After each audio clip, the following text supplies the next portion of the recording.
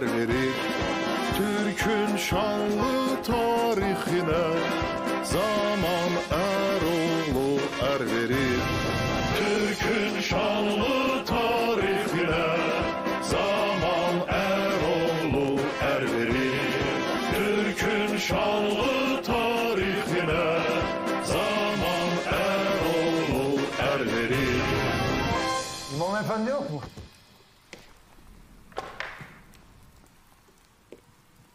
Geldim. Müftü Bey'le bir görüşme yapmam icap etti. Naaş bu mu? İmam efendi öyle büyük bir infilak oldu ki şehitlerimizin hepsinin vücudu paramparça. Bazılarını bulamadık. Rahmetlinin başı eski yara izlerinden bir kolu, eli ve ayağı bulunabildi. Allah rahmet eylesin.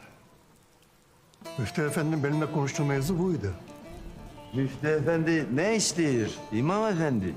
Merhumun ruhuna da size de saygısızlık yapmak haddime değil. Lakin cenaze namazı kılmak için ölünün tamamı yahut başıyla beraber yarısının bulunmuş olması icap eder. Bu şekilde cenaze namazı kıldıramam. Caiz değil. Sen ne diyorsun İmam efendi? Müftü Efendi'nin fetvası var. Olmaz. O boyda, o büyüklükte Kafkas İslam ordusunun kamandanıdır orada yatan. Bakü'yü düşman işgalinden hılas eden, adına onlarca marş okunan büyük Nuri Killigil Paşa'dır o. Sen nece diyebilirsen ki cenaze namazı kılınmasın? Ben üç günlük yoldan gelmişim. Hece arkamda onun binlerce yiğit eskeri de gelmekte. Hamisi gelirler. Onu duasız, namazsız, nece torpağa tepsirebilirek. Sağlığında kadri bilinmemiş böyle büyük komutanın bari el kadar kalmış. Tabutuna hürmet edek. Olmaz. Böyle bir şey olmaz. Benim özüm böyle bir şey kabul edebilemez.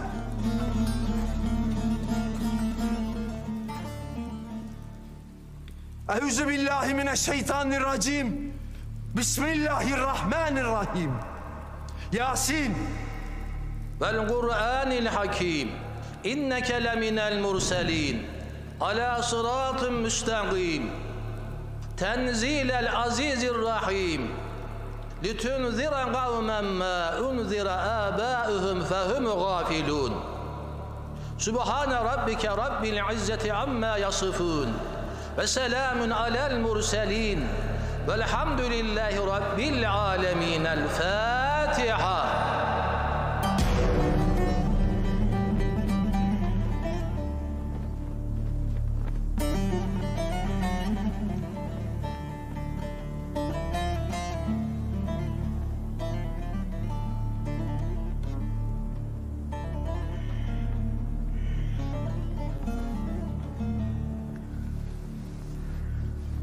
Türk savunma sanayi özel sektör tarihinde endüstriyel olarak ilk tabancayı üreten adam. Nuri Kirligil. Yıl 1927. Yüz yıl önce tabanca mı yapıyordu Türkiye? Bıraksalar daha neler yapacaktık kim bilir. Milli savunma davasının ilk şehitlerindendir rahmetli. Bize izin vermeyeceklerini bildiği için silahın patentini Polonya'da aldı. Savaştan sonra Almanya'da kaldı, kendini geliştirdi. Atatürk'ün öldüğü yıl dönmüştü Türkiye'ye. Düşmanın dikkatini çekmesin diye bir madeni eşya fabrikası kurdu. Asıl işi ise elbette silah ve mühimmat üretmekti. Neredeydi fabrika? İstanbul'da Sütlüce'deydi. Haliç'te yani. Sonra ne oldu? Dünyayı idare etmek üzere şekillenmeye başlayan Goliath daha ileri gitmesine izin vermedi.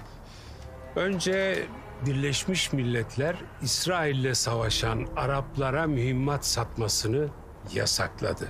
O vazgeçmeyip gizlice satmaya devam edince 1949 senesinde fabrika patladı.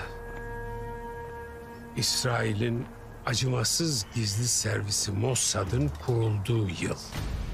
Olaya kaza diyenler de oldu, sabotaj diyenler de.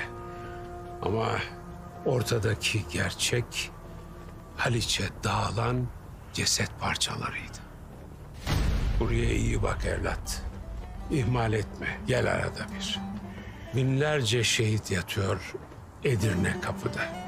Ta Çanakkale'den, Dünya Savaşı'ndan, Balkan Harbi'nden, Rus Harbi'nden. Sadece burası mı? Bu memleketin her kasabasında şehit mezarlıkları var. Her karış toprağı şehit kanlarıyla sulanmış derken mübalağa etmiyoruz.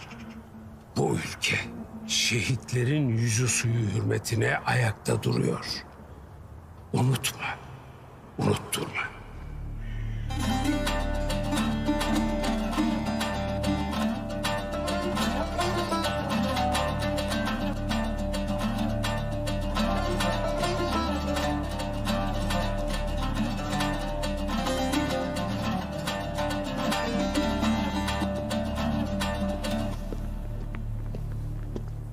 Milli savunma yatırımları çeşitli sebeplerle hep sekteye uğradı. Kendimiz üretmek yerine onlardan almanın yanlış olduğunu Kıbrıs'tan sonra anladık. Kıbrıs'ta istediğini almadı mı Türkiye? Kıbrıs Türklerine yapılan katliam durdu evet ama bunu bize çok ağır ödettiler evlat. Petrol satmadılar. Daha önce aldığımız uçakların, tankların parçalarını satmadılar. Elimizi kolumuzu bağladılar. Böyle müttefikin varsa düşmana ihtiyaç yok. Kıbrıs olaylarında bu gerçeği görünce savunma sanayi yatırımları yeniden başladı. Aselsan.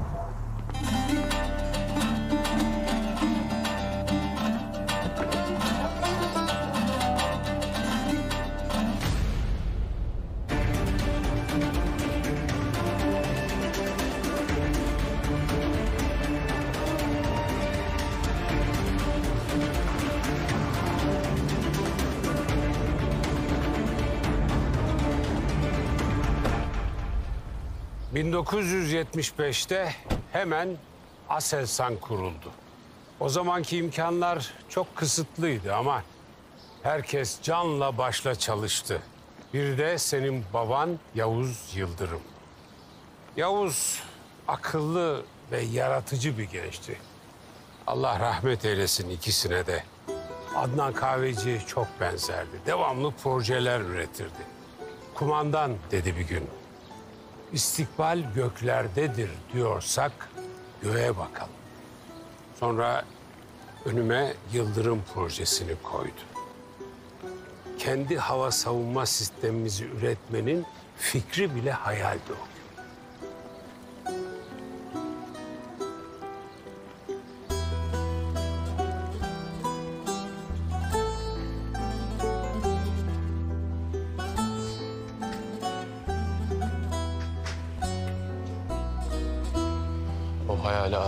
varsa her şeyi ateş atıp yaktın.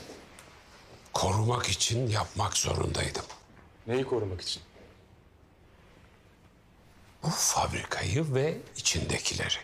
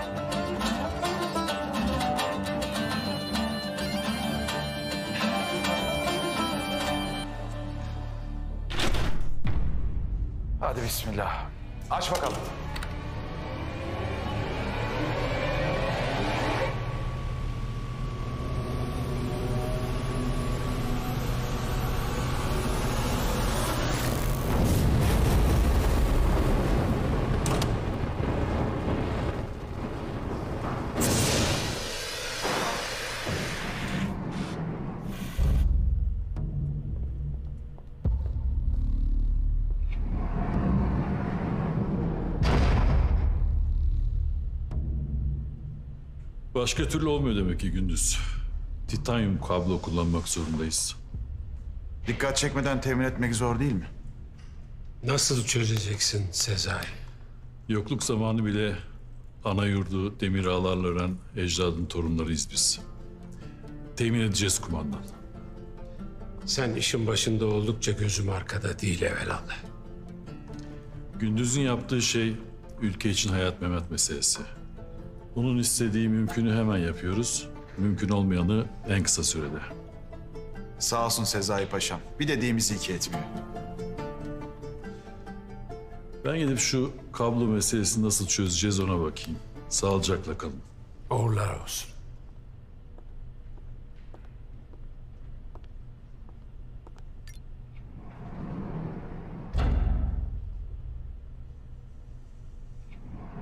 Yıllarca hep bugünü bekledim.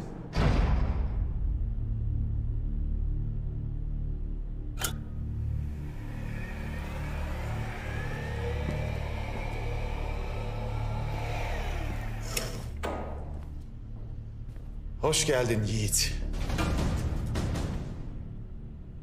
Yiğit? Gündüz Selçuklu, Yavuz Yıldırım'ın temellerini attığı Yıldırım projesinin baş mühendisi.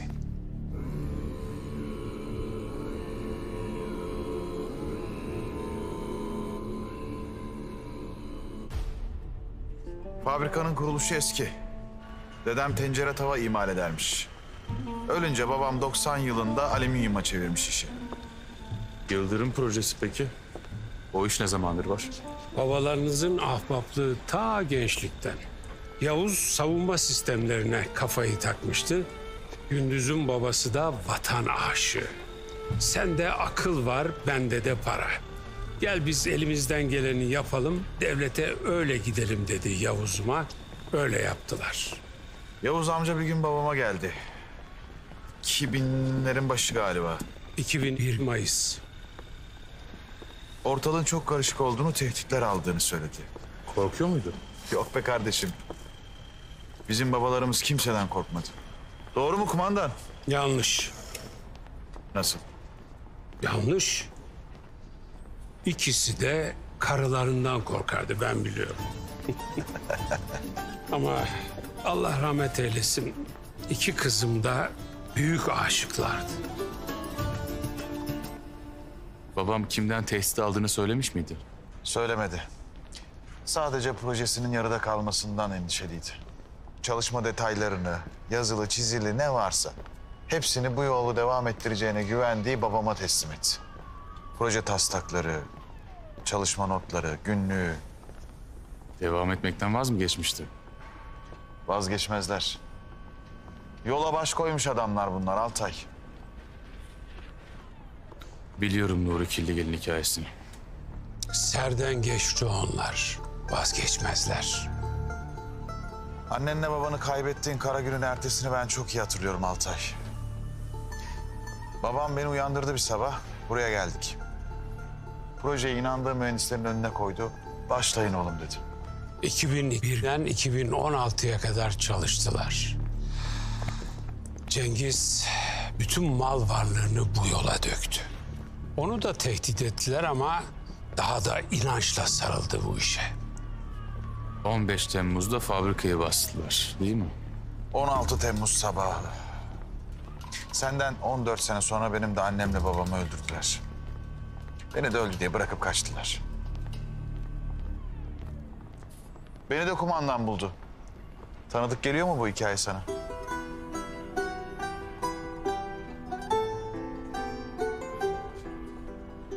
Ama sen çok yol almışsın. Ben sadece dayak attım dayak yedim. Bana yol gösteren olmadı. Senin omuzların babanın mirasını yüklenecek kadar güçlü değildi evlat. Çocuktun sen. Bırak şimdi kumandan. Hiçbir zaman çocuk olmadı bu adam. Ben onun çiğ yürek yediği günü biliyorum. Ben mi? Sen tabii. Bak mangal yapılıyor. Sizin orman evindeyiz. Etler daha pişmemiş. Sen geliyorsun çok acıktım diye. Sonra Yavuz amca rahmetli annenin haykırışlar arasında veriyor sana çiğ yüreği. Yedin mi yani çiğ çiğ? Boş yere demiyoruz sana yürek mi yedin diye. Yok yok yemedin. Bir ısırıp mangala bıraktın. 15 Temmuz ertesi gündüze dediler ki yaşarsın ama yürüyemezsin. Bu koç da dedi ki yürüyemezsem koşarım.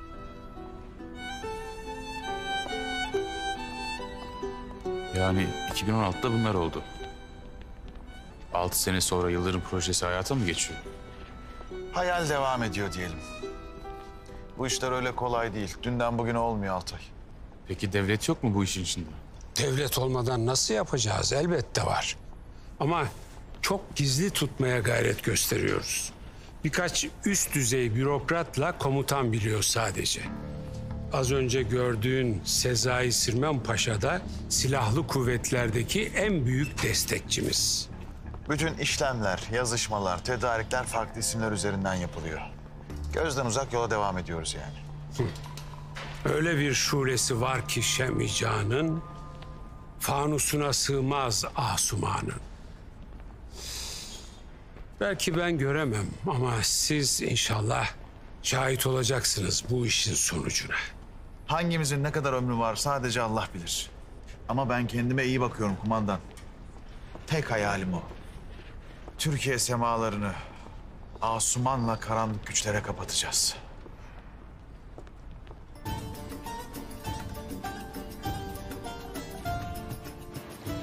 Çıktığımız yolda yapacağım bir hatanın neye mal olacağını gördüm. Babanın mirası burada yaşıyor. Burayı ve içindekileri hayatın pahasına korumak zorundasın. Gizli tutmaya çalışıyoruz ama bir noktada öğreneceklerini biliyorum. Öğrendikleri vakitte burayı bulmaları fazla sürmez. Her gün bir adım daha yaklaşıyorlar. Doğrudan yazıcıya ver onu. Hemen gereken yazışmaları yapsın. Teklif istenecek firmaların listesi ekte. Emredersiniz komutanım.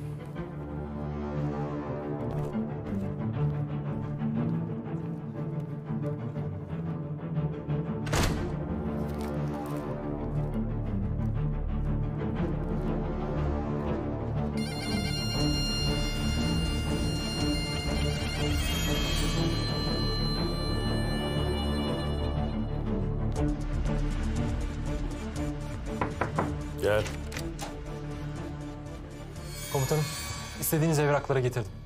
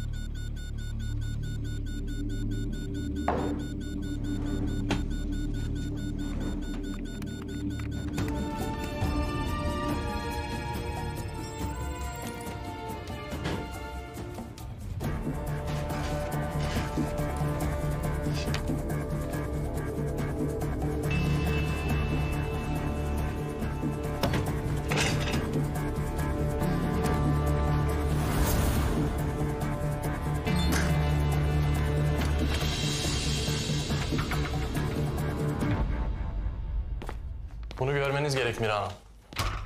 Nedir? Lojistik komutanlığından iki dakika önce ilgili birimlere geçilen yazı. Titanyum kablo. Ne demek bu? Sistemde uyarı için işaretlenmiş malzemelerden biri. Titanyum uzay aracı, uçak ve füze yapımında kullanılan havacılıkta yeri doldurulamaz bir metaldir. Yüksek hız, titreşim ve yüksek ısının söz konusu olduğu araç kısımlarında, motor türbin kanatlarında ve benzeri. Aşırı yüklenen diğer araç bölümlerinde çok kullanılır. Satın almak için teklif topluyorlar. Al işte başa döndük. Hiç vazgeçmez mi bunlar? Bu emrin yazıldığı birlikte işimize yarar kim var baksınlar. Hemen iletiyorum. Efendim? Cesedi mi bulunmuş?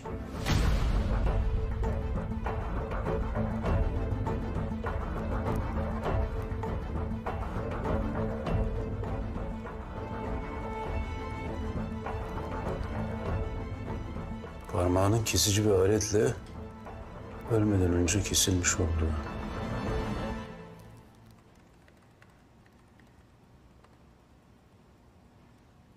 Seni kim sorguladı hain?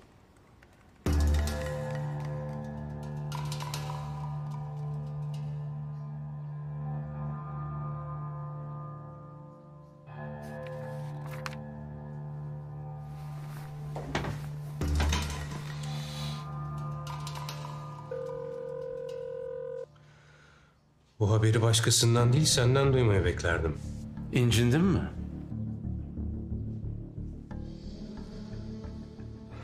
Ceset nerede bulunmuş? Sen bana böyle soru sorma cesaretini nereden buluyorsun? Bak, laf oyunlarına vaktim yok. Parmağı kesilmiş. Belli ki biri konuşturup öldürmüş. Bana otopsi raporu lazım. İçerideki kripto adamlarından iste. Ben ne zaman ihtiyaç duyarsam seni o zaman ararım. Nizam.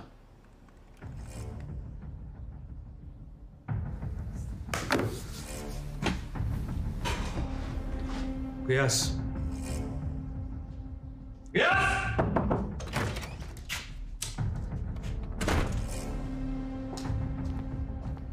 Buyur abi. Mira'ya gideceğiz. Ofiste mi öğren? E, ofiste abi haberim var. Ama elimiz boş mu gideceğiz? Kıyas Bey eğer sizin için de uygunsa çikolatamızı, çiçeğimizi alır öyle gideriz. Yok abi o manada demedim. Mürtedi istedi bizden. Ama polis istediğini bulmuş ya. O manada dedim. Manasız manasız konuşma. Aklın varsa akıl ver. Estağfurullah abi. Bizde akıl ne gezer? Adam geberip gitti. Hiçbir şeyden haberim yokmuş gibi çağırmalarını bekleyemem. O zaman Mira Hanım'a bir gidip konuşsanız iyi olur abi. Ben arabayı hazırlayayım abi.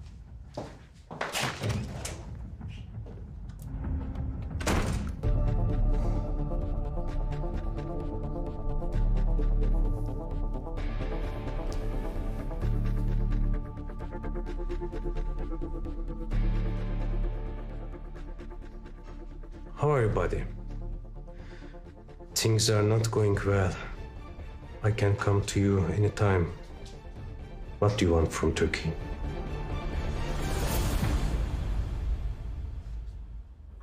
Acele etmem lazım Ahmet Müdürüm.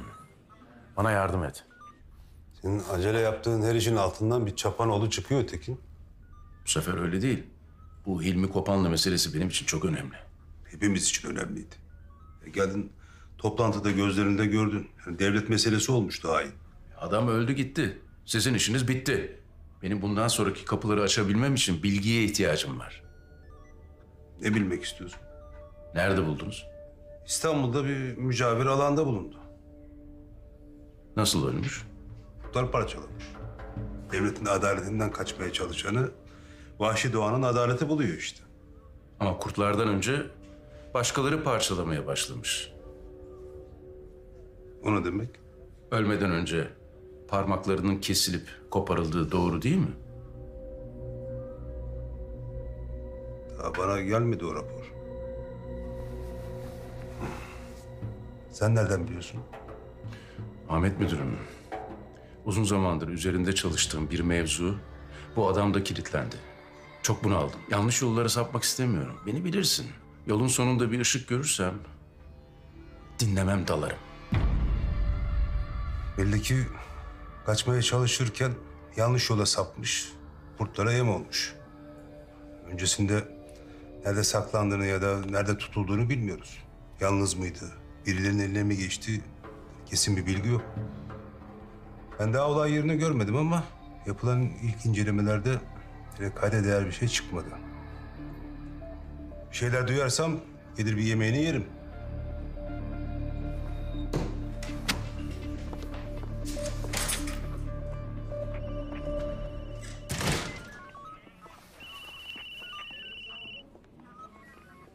Doktor, nasılsın? Sağ ol, sağ ol. Bu mürtet denen hain, Hilmi Kopanlı.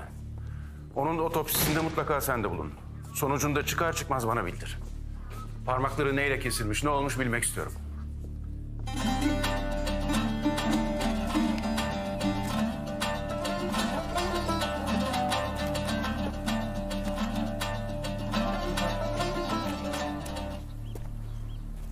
Gel bizim oğlan gel.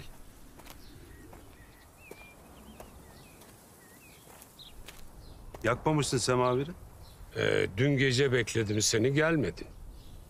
Koca demlik çay bana kaldı Ahmet'im. Hilmi Kopanlı'nın peşindeydim. Ada pazarında. Ama elimiz boş.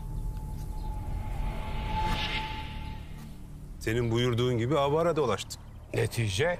Sen bilirsin neticeyi. Şey mi demek istedin? Çobanlar bulmuş leşini.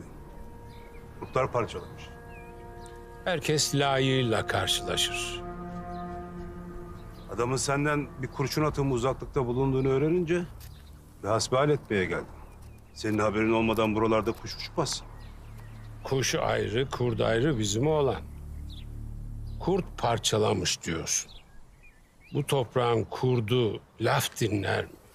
Ben de senin lafını dinleyip zamanına gelseydim belki başka türlü olurdu. Justitia dilatio est quaedam negatio. Geciken adalet, adaletin inkarıdır. Ecdadımız Orhan Gazi daha ağır söylemiş. Sonunda hüküm isabetli de olsa geciken adalet zulümdür.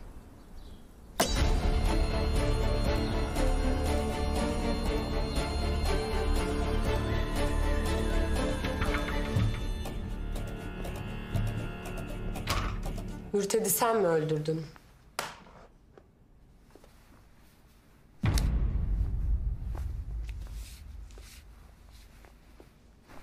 Emniyetin işi mi?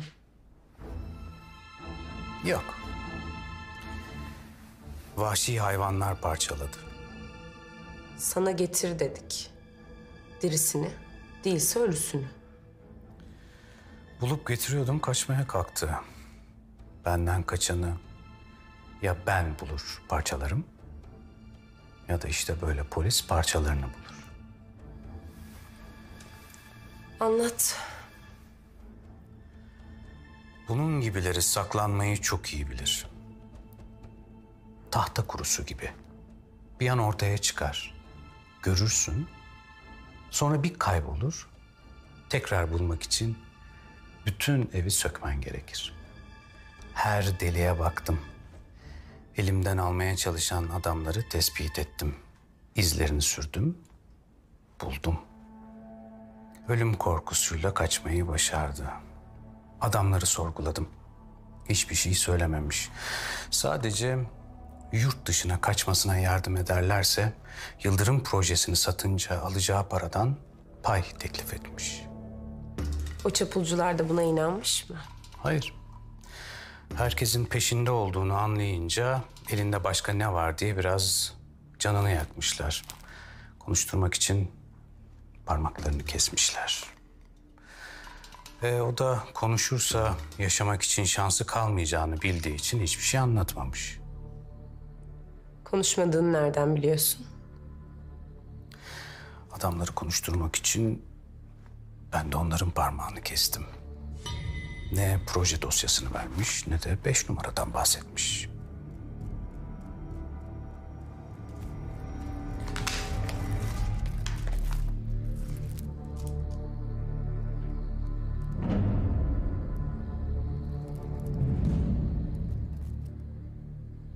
İstanbul'da böyle vahşi kurtlar var mı gerçekten?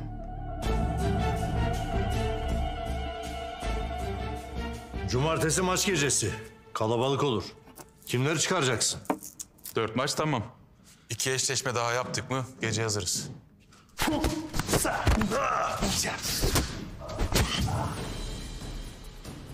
Yeni gelen Suriyeli'de var değil mi?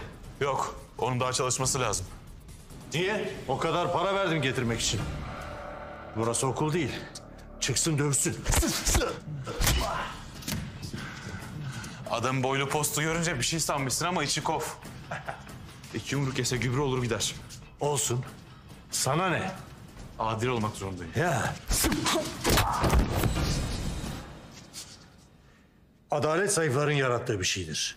Çünkü güçlüyü başka türlü yenemeyeceklerini bilirler. Biz burada zayıftan değil, güçlüden yanayız. Doğan, Ne oldu? bunu görmen lazım. Ne? Adamın birini kurtlar parçalamış. Hem de İstanbul'da.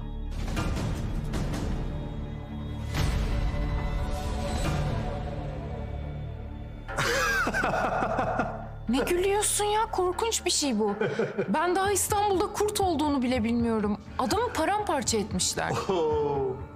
Mürted. Sen bu adamı tanıyor musun? Kim olduğunu biliyor musun? Benim tek bildiğim nizamdan büyük makas alacaklar. Sefer. Efendim abi.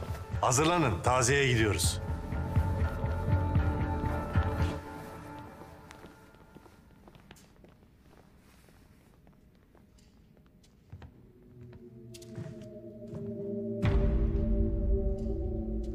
İstanbul kırsalında gözlerden uzak yaşayan kurtlar hala var. Şehrin insanı onun dağında kan dökerse cezası acımasızdır. O adam hakkında Doğan'la konuşma. Çok tehlikeli.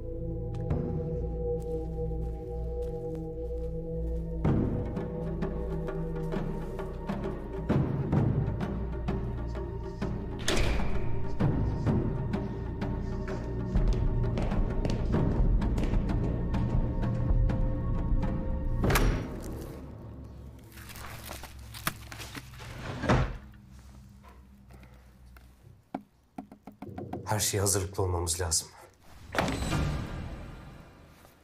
Biz her zaman her şeye hazırlıklıyız abi. Mire ile görüşme ters gitti galiba. Gülerek uğurladı Prenses Semiramis. Ama üstündeki adamın sağ solu belli olmaz. Ne emredersiniz? Banka hesaplarından toparlayabildiğin kadar nakit toparla. Ne var? Kapat. Doğan geldi abi. Kokuyu aldı leş kargası.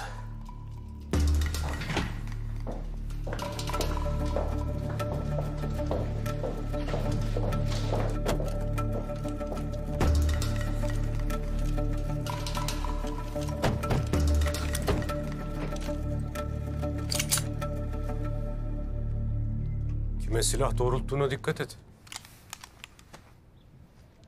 Ben senin gibi ışıklı evlerde arkamda duayla büyümedim Nizam. Sokaklarda büyüdüm. Önce karşımdaki adamın kalibresine bakmayı öğrettiler bana. Hayatıma mal olacak yanlış yapmam.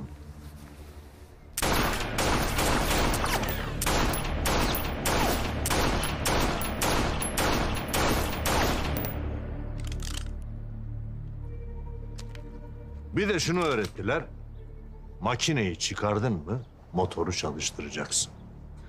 Ama hepsini harcamadım benzinini.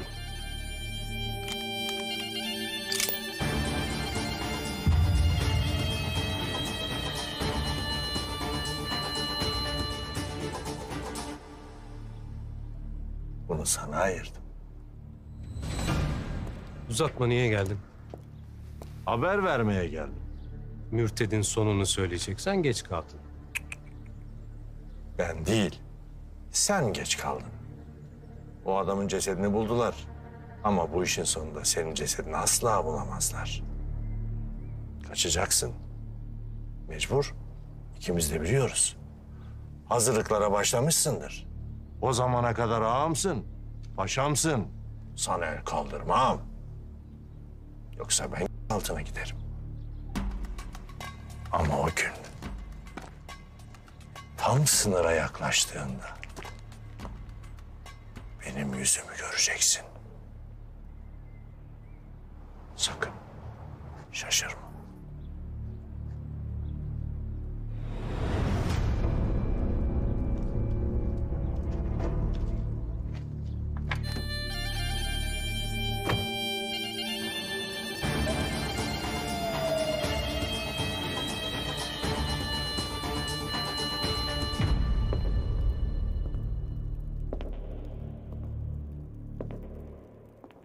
Geceler Doğan Bey.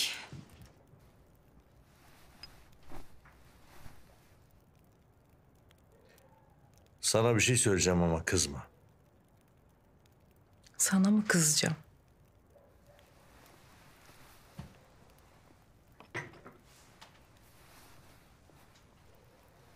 Bu hayatta senin kadar güzel yürüyen bir tek şey gördüm. Kim? Bak kızmayacağım dedin ama. Tamam söyle kim? Akdeniz adında bir kısrak. Sen beni bir ata mı benzettin Doğan? At değil, kısrak. Ha tamam kısrakmış oh rahatladım. Hayatımda gördüğüm en güzel yürüyen şey de Akdeniz. Hala aklımdan gitmez. Eski patronumun atıydı. Bir yarışta kaybetti diye vurdu onu. Hem de gözlerimin önünde. Ee, E'si sonra seni gördüm yürürken. yani bana bir ata benzediğim için mi aşık oldun Doğan? Pardon, bir kısra. Ne alakası var? Sen daha bile güzel yürüyorsun diyorum. Ben şimdi bunu duyduğum için mutlu mu olmalıyım? Ne diyorsun Esra ya? Anlamıyorum diyorum. Anladığım dilden konuş. Kim bilir hangi kadının adını söyleyemedin de. Atmış da, kısrakmış da, Akdenizmiş de. Başlatma şimdi eski kırıklarına. Ya ne kırığı kızım? Ben sana ciğerimi vermişim. Lafa gelince o öyle. Doğan Bey. Ama icraate gelince ağzından tek bir laf bile alınmaz. Ben ne sakladım bugüne kadar senden? Mesela ne iş yapıyorsun? İş işte. Ela'nın okulunda diğer çocukların annesi. Kocanız ne iş yapıyor dediği zaman ne kadar şapşal durumuna düştüğümü hiç düşünmüyorsun değil mi? Kocanız ne iş yapıyor Esra Hanım? İş, iş işte. İş yapıyor benim kocam. Seni bu kadar zor duruma düşürecek ne yapmış olabilirim ki? Farkında değilsin değil mi? Ne? Daha bugün hangarda nizamdan büyük makas alacaklar diye bağırdın, çıktın gittin. Beni orada bir süs bitkisi gibi bıraktın. Pardon. Ahıra bağlanmış bir kısrak gibi bıraktın. Kızım abartıyorsun. Abartırım. Biz seninle ölümüne bağlanmışız. Abartırım. Nereye gittin? Biliyorsun o nizam denen adamdan endişe duyduğumu. Senin endişelerini ortadan kaldırmak için gittim. Lafımı söyledim geldim.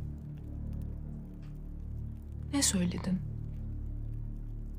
Mutluluğumuza yaklaşırsan seni öldürürüm dedim.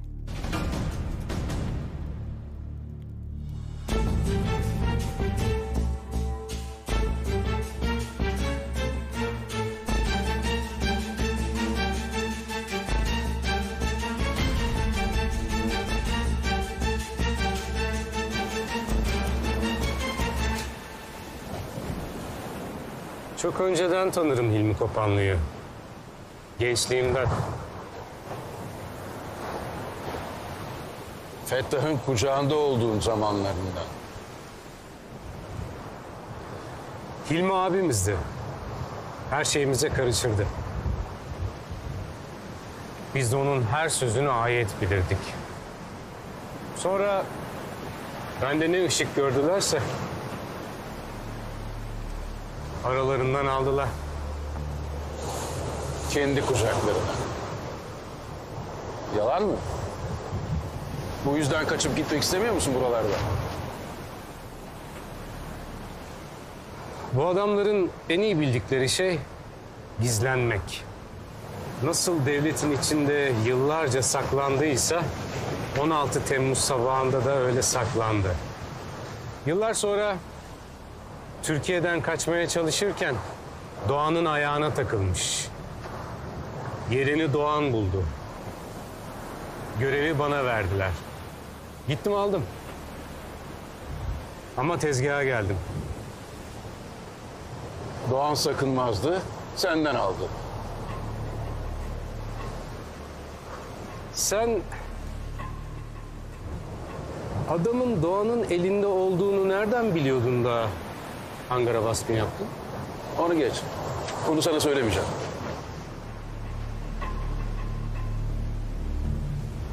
Adamı Doğan'ın aldığından eminim. Bu ne devletin işi ne de başkasının.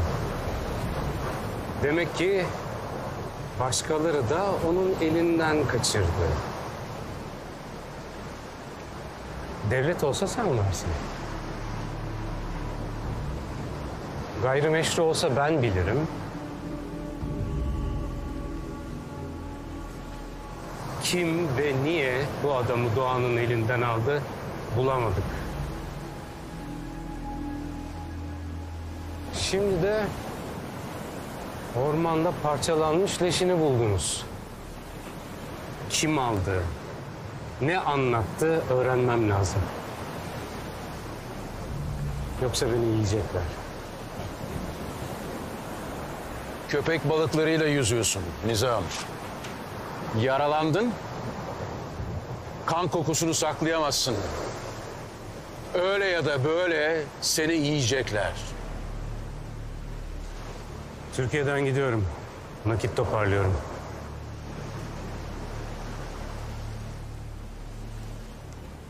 Sen benim yolumu aç. Ben de sana bu adamlara yürüyebileceğin kestirme yolu göstereyim.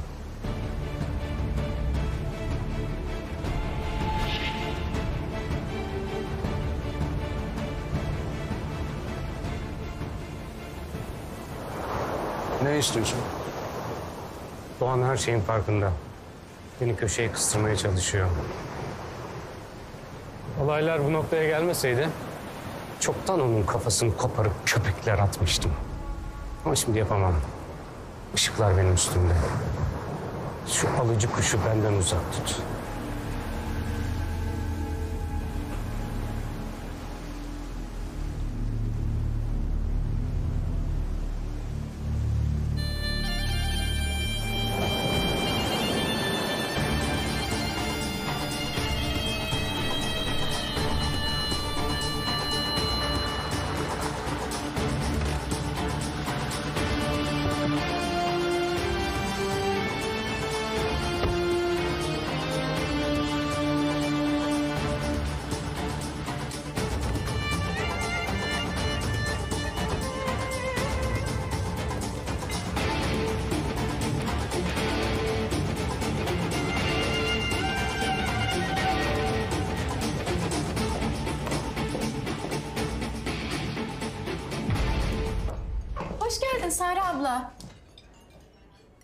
Karıştırdınız galiba. Ee, özür dilerim. Ee, birine benzettim. Sizi şöyle alayım. Bir tuvalete gideceğim. Sonra veririm sipariş. Yolu göstereyim. Özür dilerim. Çok özür dilerim. Doğan yanımda olsa kimden özür dileyecektim?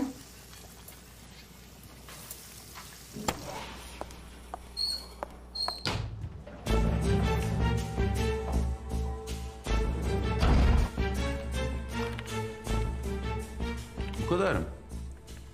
Talimatına uygun hareket ettik. Doğan'ı rahatsız etmeyecek birkaç noktaya yerleştirdik sadece. Bu ne? Doğan'ı izlemeye mi başladın? Daha fazla bilgiye ihtiyacım var. Ben artık işine yaramıyorum galiba. Senin durumun ayrı. Doğan'ı sıkıştıracak bir hedef arıyorum. Bu operasyonun amacı Doğan'ı sadece izlemek değil miydi? Durumlar değişti Sare. Tepesine çökeceğim. Nasıl ya? Benim bilmediğim bir şey mi oldu ne? Senin bilmen gereken her şeyi söylüyorum. Gerisini karıştırma. Görevini yap. Tamam peki. Yeni görevim ne? Senin için bir şey değişmedi. Daha önce ne yapıyorsan aynı şekilde devam edeceksin. Etrafımda yeni bir oyun kurulacak ve benim hiçbir şeyden haberim olmayacak öyle mi? Sare, sen ne zamandır benim emirlerimi sorguluyorsun?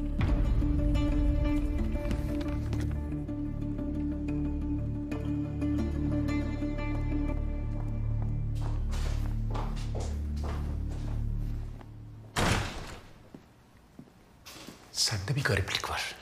Bende değil. Yapmaya çalıştığın yemeğin tadı garip. Bizi böyle alıştırmadın sen. Ben sizi her şeye hazır yetiştirdim. Evet ama hiçbir şey saklamadım bugüne kadar. Sare, devam edebilmemiz için Doğan'ın devre dışı kalması gerekiyor. Doğan gibi bir adamı devre dışı bırakmak için öyle kameralar koyup izleyip tuzak mı kuracaksın? Hiç inandırıcı değil ha. Hele de bunu söyleyen Vikingse. Öyle bir şey gerekiyorsa söylersin onu öldürürüm. Hiç şüphem yok. Ama şu anda bunun zamanı değil. Senin bir talimatınla ölüme gittim ben gözümü bile kırpmadan. Hiç tereddüt etmedim. Çünkü kafamda soru işareti yoktu. Ama bu ani manevra midemi bulandırdı. Bana güveniyor musun kızım? Güveniyorum. Herkesten çok. Güzel. O zaman bu kafandaki kuşkuların esiri olma. Sana söz veriyorum. Zamanı geldiğinde her şeyi anlatacağım. Ne yapmamı istiyorsun?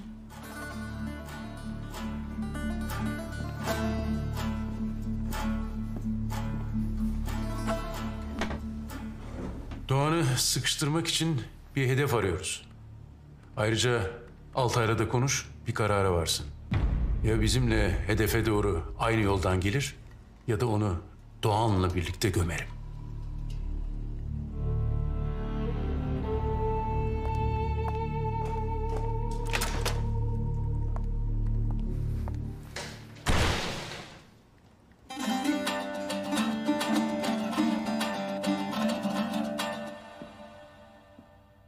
Abi Doğan Bey dedi ki burayı Altay abinin istediği gibi düzenle dedi. Hani misal istediğin zaman dinlenirsin hesabı. O yüzden diyorum ki buraya böyle rahat bir koltuk alalım. Koltuk olur. Aslında bak Altay abi bir tane de şöyle şuraya minik bir buzdolabı. Oraya böyle yiyeceklerin içeceklerin dizersin. Sonra bak şöyle duvarda bir tezgah. Köşede bir tane ocak. Ocağı ne yapacağım Reşat? Abi misal gece acıktın kimse yok yalnızsın. İki tane yumurta kırarsın ya. Kafanı kırarım Reşat. Abi niye yükseldin ya? Mesela bak şu an bir şurada kuymağımız olsa. Böyle ona bandıra bandıra yesek sevmez misin? Sevmem. O zaman menemen yaparız. Uğraşmam diyorsan da Altay abi bak ben de bir bakırsam. Bir şey istemiyorum Reşat. Hoş geldin yenge. Konuşmanızı bölmedim değil mi? Reşat'ın çenesi biter mi hiç? Yok yenge o bakımdan değil de Doğan Bey dedi buraya Altay'a oda yapın dedi. E, ben de böyle şuraya bir tezgah düşündüm. Köşeye de bir ocak nasıl olur? Tamam sen işine bak Reşat. Anlaşıldı.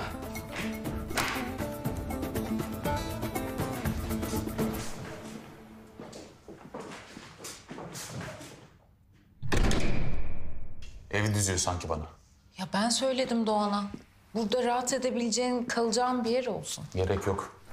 İyiyim ben. Konuşmamız lazım. Doğan'ın haberi var mı geldiğinden? Onu ben hallederim. Ne konuşacağız? Viking'in yanından geliyorum. Yeni talimatların mı var? Doğan'ın burası dışındaki işleriyle ilgili de bilgi almak istiyor. Sen verseydin ya. 7-24 yanındasın. Doğan beni işlerine yaklaştırmaz. Esra da hiçbir zaman ayrıntılı bir şey öğrenememişti. Sen daha beceriklisin Esra'dan. Halledersin. Altay, gözünü Doğan'dan ayırma. Duyduğun her şey çok önemli. Sizin işlerden anlamam ben. Ajanlık falan bana göre değil. Ya ajanlık falan değil zaten. Gözün kulağın açık olsun diyorum. Viking Doğan'ın Ne? Ne yapacakmış Doğan'ı? işini bitirecek. Bindiğimiz atı mı vuracaksınız? Onun bir bildiği vardır. Daha yukarıdaki isimlere ulaşmak için Doğan'a ihtiyacımız var diyen sendin. Doğan'ı öldürmek istiyorum diyen de sendin. Doğan giderse bütün bunları boşuna yaşamış olacaksın. Esra da bir uğruna ölmüş olacak. Hedef beş numaraya yaklaşmak olmalı. O adam her kimse onu buraya getirmenin bir yolunu bulmalıyız. Doğan devre dışı kalırsa biz ne yapacağız? Nizam beni yanına mı alır sanıyorsun? Ya da beni devre dışı bırakıp sen devam edeceksin bu yolda. Ne saçmalıyorsun? Neden? Belki de Doğan'dan sonra Nizam'ın koyununa girersin ha?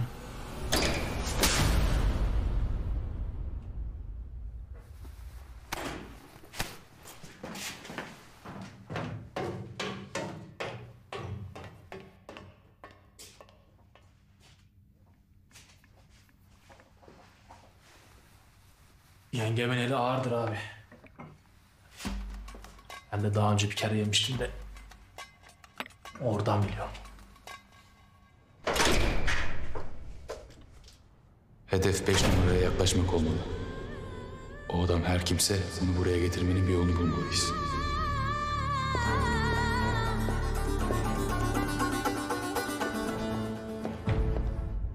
O depoda her şey sana zimmetli koçum. Bir kutu bile eksilmeden Kıbrıs'a gidecek.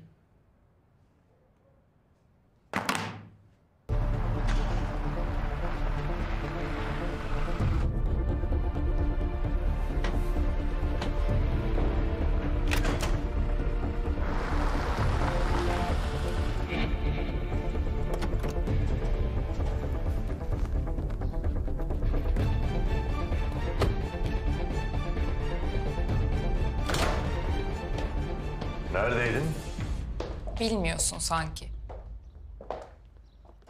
Ne işin vardı hangarda? Altay'ı görmeye gittim. Sebep? Ders almak istiyorum. Ne dersi? Yakın dövüş. Ve bunu bana değil, Altay'a söylüyorsun öyle mi?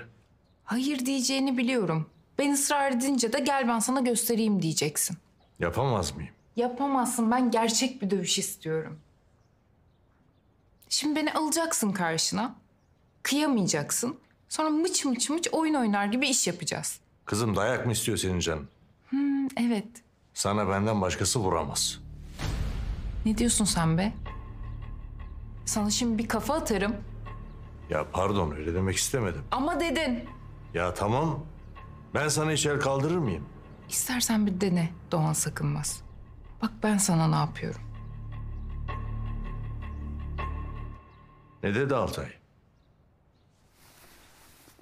Salak. Önce bir Doğan Bey'e sorun dedi. Aferin bak. Ben demiştim o çocuktan olur diye. Tamam şimdi boş ver onu. Asıl benden olur mu onu söylesen.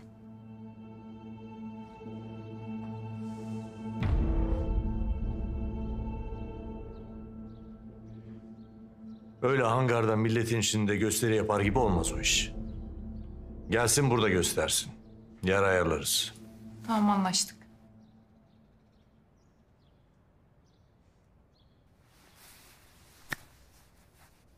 Şimdi bir tane de öp.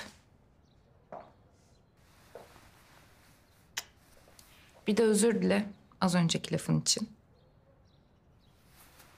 Gel aşkım benim gel deli kızım. Özür dilerim.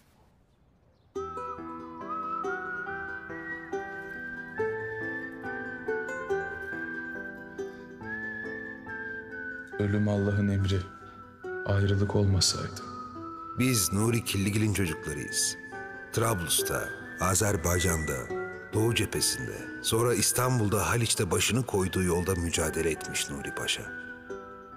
Okudukça atalarımızın hatıralarını göğsümüz kabarır. Yıldırım projesini hayata geçirmek, asmanı germek en büyük hayalim. Ama bir o kadar hayalini kurduğum şey de oğlumun büyüyünce babasıyla gurur duyması. Oğlum daha çok ufak. Elbette onu babasız bırakmaktan endişe duyarım. Ama çocuklar babasız büyür de vatansız büyüyemez. Çocuklar ne vatansız büyüsün ne de babasız. Güzel, tamamdır.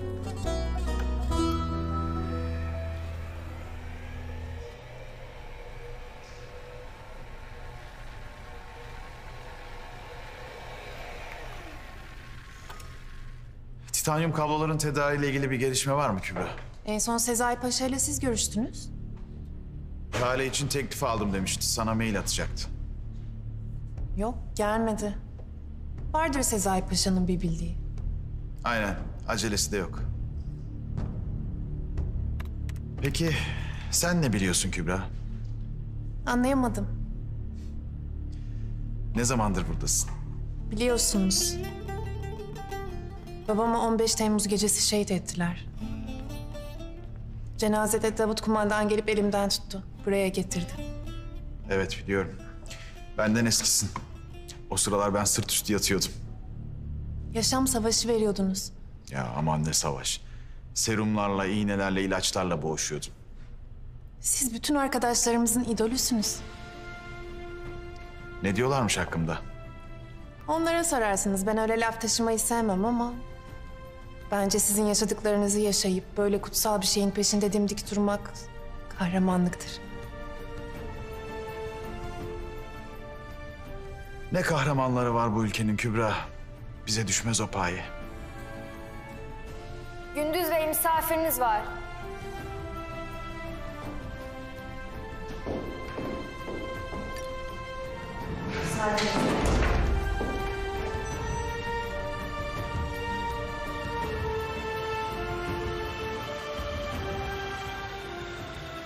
Hoş geldin. Hoş bulduk. Çok sevindim gelmene Altay. İhtiyarın emri artık böyle. Ha, kumandan istedi diye geldin yani. Yok öyle demek istemedim. Öyle değil tabii. Ya nasıl? Yıllardır kimse bana Yiğit dememişti. Ben babamdan izin almıştım. Beşiktaş'ta futbolcu olacaktım. Beşiktaşlı mısın? Beşiktaşlıyım tabii.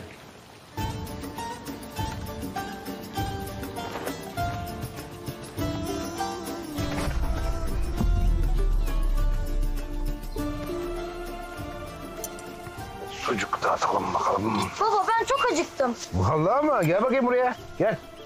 Gel bakayım sana bir börek vereyim şöyle. Ha.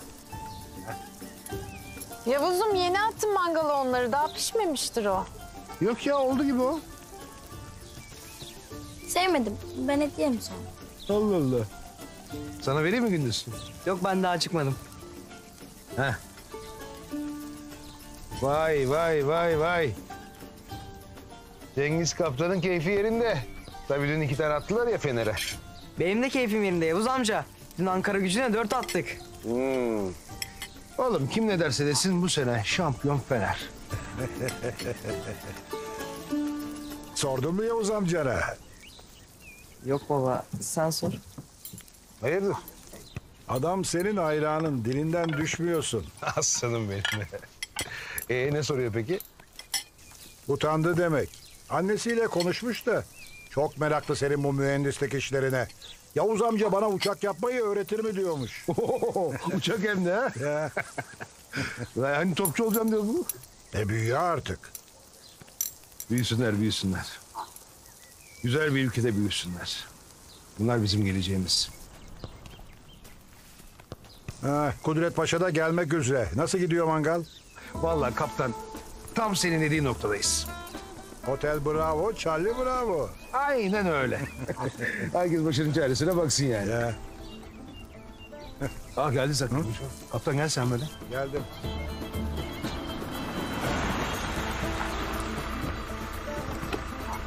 Komutanım hoş geldiniz. Hoş bulduk Yavuz. Nasılsınız iyisiniz? İyi sağ ol, sağ ol, var ol. Ne iyi ettin ya. Siz de hoş geldiniz. Tanıştırayım. Yüzbaşı Sezai. Ben de öyle. Cengiz, kolay gelsin. Hazır mı etler? Hazırız komutanım. İyi hadi bakalım. Paşam sizi şöyle alalım.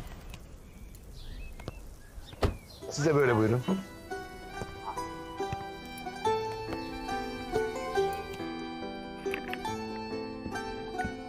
Komutanım buyurun. Teşekkür ederim. Afiyet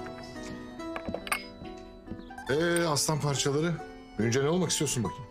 Sporcu, sanatçı, politikacı ya da bilim adamı olacağım ben. Aferin sana. E sen? Uçak mühendisi. Fevkalade. Baba biz çıkıp dışarıda top oynayabilir miyiz? Tabii oynayın oğlum. Hadi. Başınızı şişirmesinler şimdi. Siz de rahat rahat sohbet edin. Biz de çıkalım. Var mı bir eksiğiniz? Ha, her şey çok şahaneydi. Teşekkür ederim sevgilim. Afiyetler olsun. Paşam biz komutanımla tanıştık ama pek sohbet edemedik. Size daha önceden bahsettiğim gibi Sezai Sirmen. Yıllarca kendisini takipteydim. Size tanıştırmak için de yüzbaşı olmasını bekledim. Hayırlı olsun rütbeyi almışsınız. Aldım. Teşekkür ederim. Hayırlı olsun. Çok sağ olun. Kendisi silahlı kuvvetlerin medarı iftarı gençlerimizdendir. Estağfurullah komutanım. Kudret Paşam öyle diyorsa öyledir ama. 20 sene sonra bizim oturduğumuz makama oturacak kendisi. Eh, bizim başladığımız işlerin de geleceği olacak. Gelecekten umutluyuz öyleyse. Elbette. Mustafa Kemal'in askerleriyiz biz Cengiz. Umutsuzluğu ve karamsarlığı asla yanımıza yaklaştırmayız. Yalnız komutanım devlette de silahlı kuvvetlerin içinde de bir kazan kaynıyor. Tehlikeyi görmüyor musunuz bu durumu? Uyanık olacağız Yavuz. Bu devletin başında iki tane musibet vardı. Bunlardan bir tanesini iki yıl önce yakalayıp içeriye attık. Diğeri de aynı sene ne hikmetse Amerika'ya gitti. Fettah Dahak Amerika'dan bir daha dönmeyecek diyorlar. Doğru mu sizce? Şartlar olgunlaşmadan dönmez. Her yerde adamları var. Devlet içinde devlet kurmuş resmen. Daha ne kadar olgunlaşacak şartlar paşam? Hayali Hümeyni'nin yaptıklarını yapmak. Hatırlayın. Irak'ta sürgündeydi. Irak İran'ın baskısıyla onu sınır dışı etti. Fettah'ın şimdi Amerika'ya gitmesi gibi o da Paris'e gitmişti. Küçük bir köyden tüm yandaşlarına, bütün dünyaya seslendi. Kendisine taraftar ve güç topladı. Bu da Amerika'daki malikanesinden aynı şeyi yapıyor. Batılı sözde müttefiklerimizin de işine yarıyor bu durum. Ne zaman Hümeyni'nin İran'a dönüşü gibi onu milyonlarca kişinin karşılayacağı bir ortam oluşursa işte o zaman döner. Komutanım bunların çıkardığı bir dergi vardı. Sıkıntı dergisi. Sıkıntı gibi evet o dergi. O da 79 yılında çıkmadı mı? Aynen. Yıl da aynı, ay da aynı. Yani Şubat 1979'da Hümeyni İran'a şaşalı bir dönüş yaptı. Fettah da sıkıntı çıkarmaya başladı. Taraf olmayan bertaraf olur dedi. Yiğit. Oğlum yavaş biraz.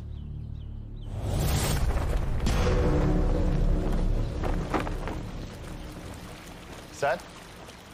Bende yok o işler. Senin baban iyi Fenerliydi. Cengiz amca da Beşiktaşlı mıydı?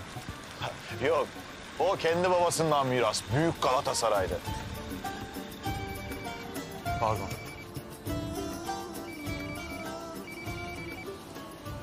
Akif. Altay abi. Abi bizim çocuklardan birini götürdüler. Sakın bir şey yapma geliyorum. Neredesin? Beğenmiş mi altı odasını? Ay huysuz.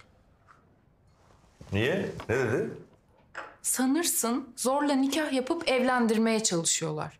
Yok onu istemem, bunu istemem, ona gerek yok. Ev deyince tüyleri diken diken oluyor. Sıcak aile ortamı görmemiş ki adam.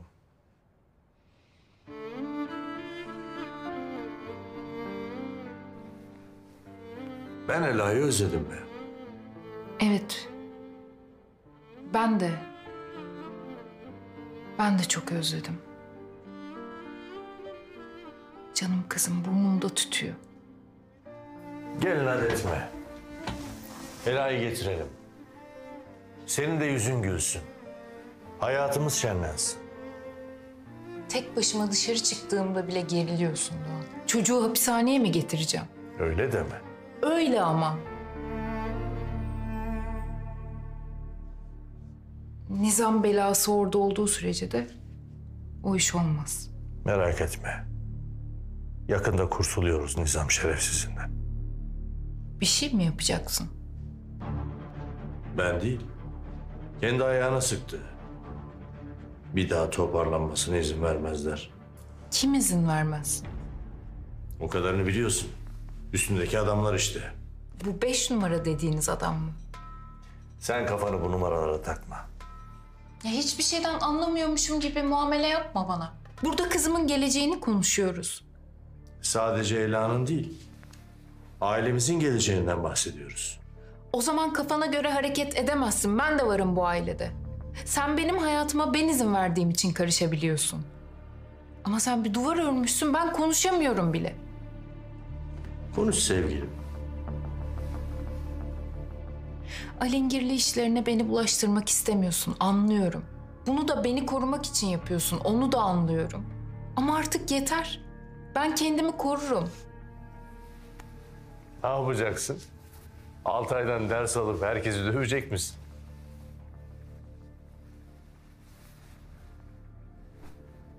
Kırıcı oluyorsun. Ya kızım ben seni çok seviyorum. O zaman bir kez olsun bana kulak ver. Yeri geldiğinde seferi bile dinliyorsun ama benim söz hakkım yok. Tamam. Dinliyorum. Konuş. Bu Mira denen kadın Nizam'ın üstündeki adam için çalışmıyor mu? Evet. Beş numaranın eskortu. Sefer benim için neyse, Kıyas Nizam için neyse o da beş numaranın eli ayağı. Tamam işte. Nizam'la mücadele etmek sana zarar veriyor. Senin daha yukarıdan kendini garantiye alman lazım. Beş numarayla kontağa geçmemi söylüyorsun. Aynen onu söylüyorum. Her şeyin güçle çözülemeyeceğini, bazen politik davranmak gerektiğini öğrenecek kadar yaşamışsın sokaklarda. Nasıl olacak o iş? Bir haine karşı en iyi savunma ihanettir diye okumuştum bir yerde. Vay. Ya sulandırma bir şey anlatıyorum. Bak nasıl bir sisteminiz var bilmiyorum ama elindeki kozu iyi kullanırsan eğer kimsenin sana söyleyecek hiçbir şey olmaz. Neymiş hem de koz? Altay, Nasıl yani? Mira'nın Altay'ın dövüşünü izlerkenki bakışlarını gördüm. Sen de görmüşsündür herhalde. Onu kullan. Mira'nın emrinde çalıştığı adam için bir dövüş gecesi düzenli hangarda. Düşünsene. Nizam aranızda yokken adam gelip Altay'ın şovunu izleyecek. E sen de bu sırada bir iki laf söylersin herhalde Nizam hakkında adama. Gelmez ki. Kendini bana deşifre etmez. Sen adamı değil kadını ikna et. Bu adamın bütün işlerini Mira ayarlamıyor mu? Onu ikna edersen gerisi kolay inan bana.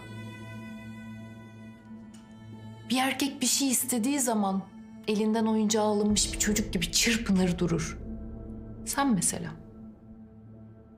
Ama bir kadın öyle dövünmez. Senin aklının bile alamayacağı bir çözüm bulur.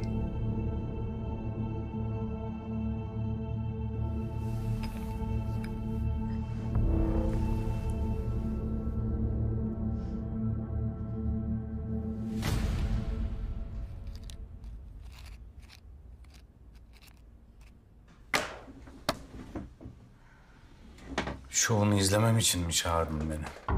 Hayır. Senin şovunu izlemek için. Tuğ General Sezai Sirmen. Genelkurmay Lojistik Başkanı. Kim bu adam? Yeni hedef. Ne için? Türk Silahlı Kuvvetleri'nde araştırma geliştirme projelerinde tedariği yapan adam bu. Hava savunma sistemlerinde kullanılan malzemelerin alımı için düğmeye bastı. Biz yapma desek yapmaz mı? Bildiğin namuslu, vatansever, dümdüz sıradan bir Türk komutanı. Söz dinleyecek cinsten değil. Bir açığı olsaydı sen hallederdin zaten. Bana gelmezdi bu iş. Benim yapacağım iş değil. sen devreye gireceksin. Dosyada bağlantı kuracağın kriptomuzun bilgileri mevcut. Paşa'nın sürekli yakınında biri. Bu sevdadan vazgeçirmeliyiz Sezai Sirmen'i. İskender gibi kılıçla mı çözeceğiz kordiyon düğümünü? Orası senin maharetine kalmış. Çok riskli iş. 2022 yılındayız Mira. Türkiye eski Türkiye değil. Koskoca generali öyle aklımıza estiği gibi ortadan kaldıramayız. Başımıza büyük iş alırız. Sen zaten mürtet meselesinde çuvallayıp başına büyük iş aldın Nizam. Bu son şansın. Belki kelleni kurtarırsın.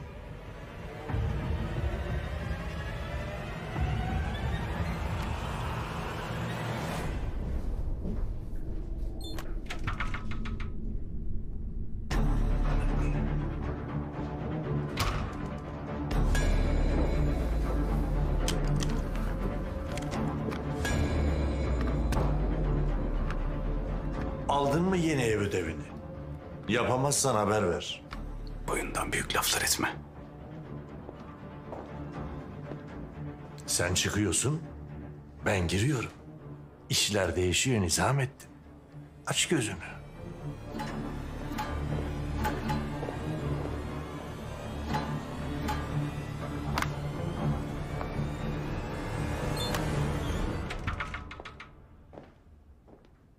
Neymiş bu kadar acil olan?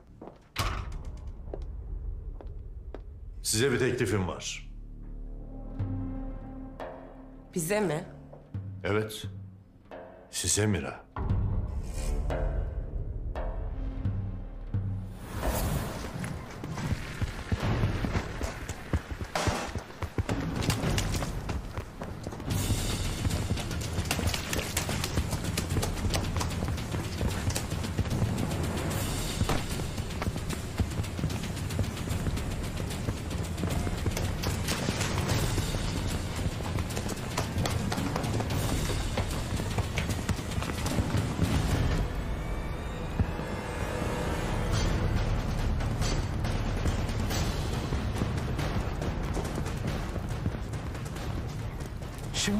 Kaçacaksın bakalım? Aslı siz nereye kaçacaksınız? Kollayın.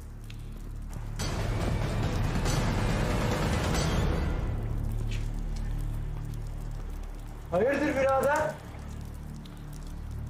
Burası çıkmaz sokak. Hadi yoluna. Laf anlamıyor musun? Türkçe konuşuyoruz burada. Ben laftan değil dayaktan anlarım. Döversen dinlerim seni. Yok dövemezsen de ben anlatırım sana. Ne diyor lan bu?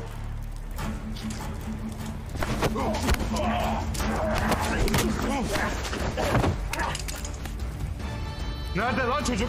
Nerede?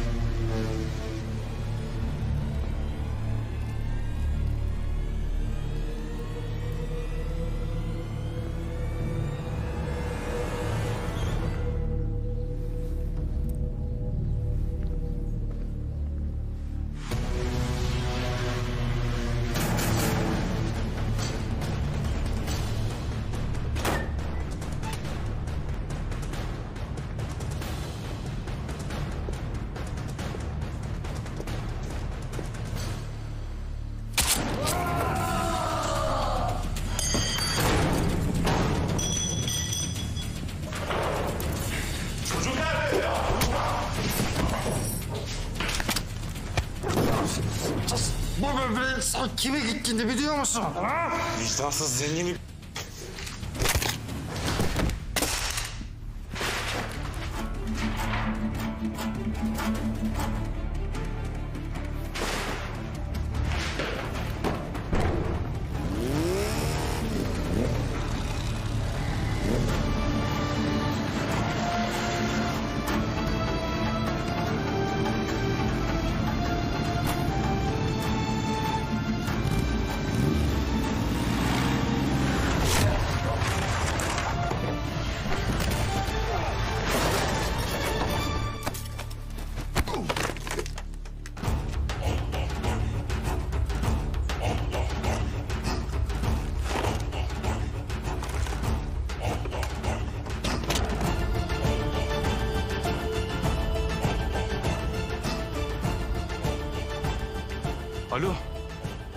çocuğun hayatı tehlikede.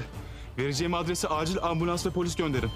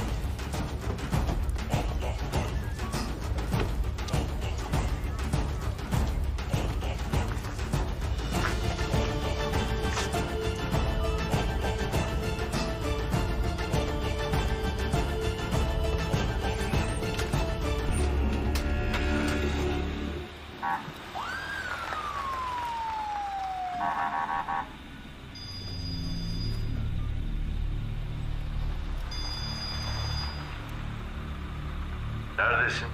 Görüşmemiz lazım. Geliyorum.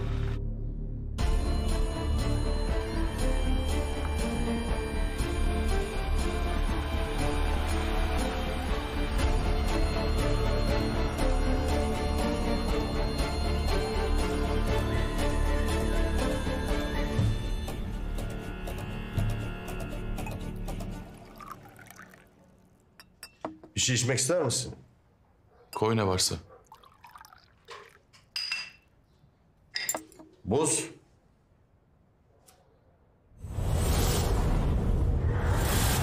Bir süre buz görmek istemiyorum.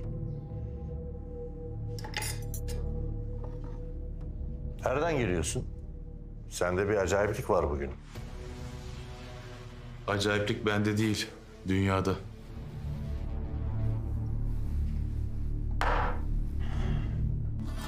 Sen neyi kutluyorsun? Gel aşkım gel. Altay'ın geleceğini söylememiştin. E, yabancı değil. O da artık bu evden biri olacak. Nasıl? Ben bugün sana yakın dövüş için ders istiyorum dedim ya. Evet. Sen de bir önce Doğan Bey'e sorun dedin. İzin çıktı. Dersleri burada yapabilirsiniz. Bence bir mahsuru yok. Esra'nın pisliğin içine girmesini sen de istemezsin. Kararsızım. Burada rahat edeceğiniz bir yer ayarlarız. Ne ihtiyacın olursa Sefer'e söylersin ayarlar. Konuşuruz. Bak biraz zoru görsün öğrensin onu okey. Ama fazla hırpalamak yok. Aynısını ona da söyledin mi? tabii tabii. Eli ağırdır. Sevgilim. Altay bize lazım. Canını fazla yakma lütfen. Sen Mira ile görüştün mü? Görüştüm. Kabul etti. Altay'ı da o yüzden çağırdım. Söylemiştim ben sana. Bana kim hayır diyebilir ki? Abartma istersen. Hafta sonu senden dövüş istemiştim ya. Hepsi hazır. Hepsini iptal et. Ne yapıyoruz? Özel bir dövüş gecesi. Dışarıdan seyirci yok. Nizam'la Mira mı gelecek yine? Hayır. Mira'nın patronu.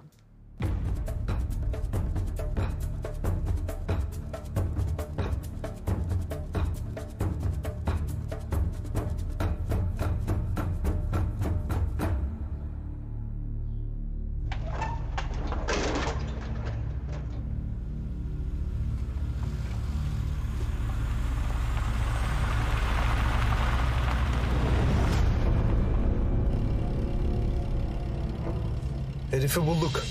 Doğan Sakınmaz'ın adamıymış abi. Güzel. Sen kimin köpeğisin paşam? Cüneyt Ezmez'in abi. Ben adamı ne yaparım? Ezersin abi. O zaman o herif çuğulunu parçalayın, kopartın, ısırın, tut tut tut. Tamamdır abi.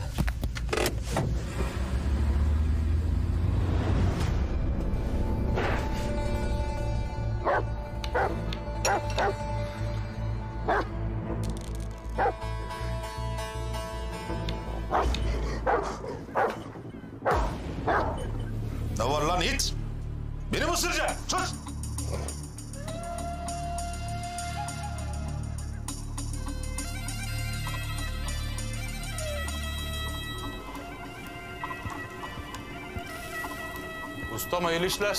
Sağ ol. Üç çeyrek atar mısın? Hemen. İçin alamam. 16 Temmuz 2016'dan beri arananlar listesinde olan darbeci hainlerden Hilmi Kopanlı, İstanbul kırsalında parçalanmış halde bulundu. Kamuoyunda Mürted adıyla bilinen haini, polise yakalanmamak için kaçmaya çalışırken ormanda vahşi kurtların parçalamış olduğu açıklandı. Üstü kalsın.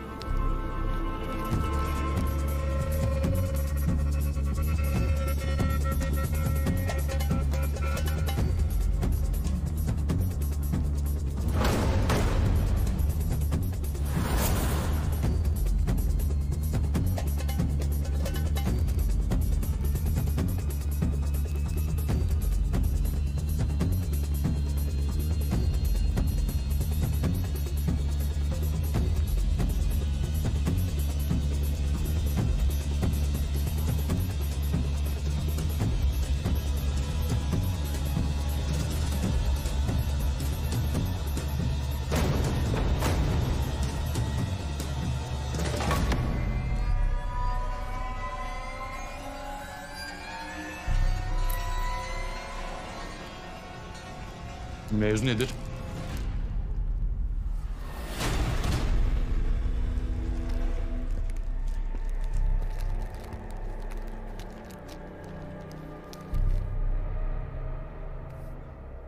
Yine mi sen lan? Yediğin dayak az mı geldi? Senin kime bulaştığından haberi yok. Kimmiş bu seferki talihli? Deli Cüneyt.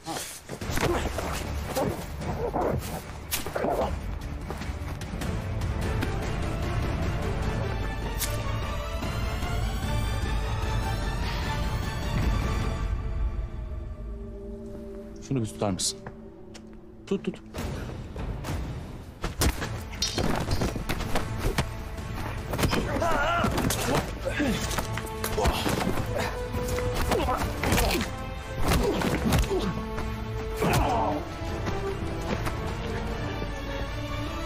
Söyle o şerefsiz patronuna. Altay abim dedi ki de. Söyle. Altay abim dedi ki. Heh.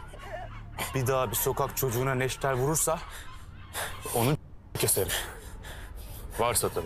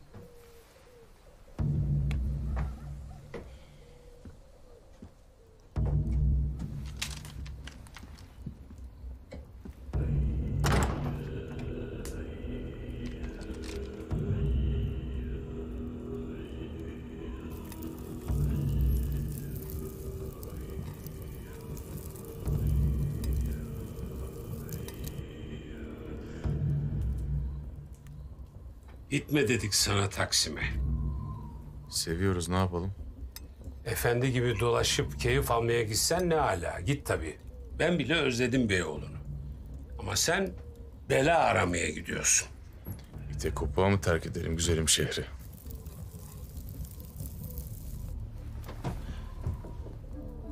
Sana mı düştü koca İstanbul'u korumak çocuk? Dört bir köşesinde evliyası yatıyor bu şehrin. Üsküdar'da Aziz Mahmut Hüdayi, Beykoz'da Yuşa Hazretleri, Sarıyer'de Telli Baba, Beşiktaş'ta Yahya Efendi. Sen kim oluyorsun?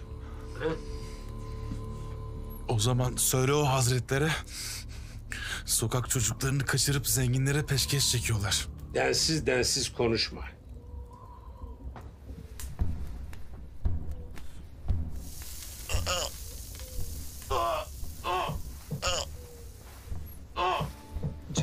Acıdı? İlk defa yapıyoruz sanki. Bas, bas! Aa!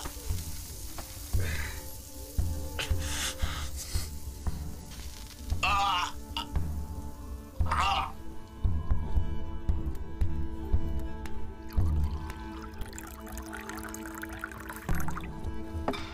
Ellerin dert görmesin. Senin gibi hayta varken biter mi benim derdim?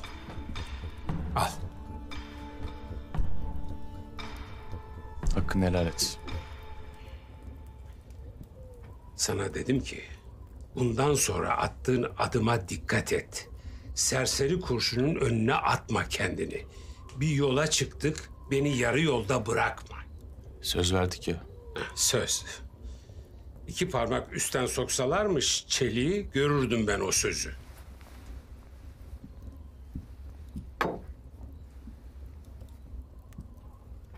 Çocuklara bunu yapan o şerefsizi bulmadan bana uyku yok. Sanki bulup hesap sorsa uyuyacak.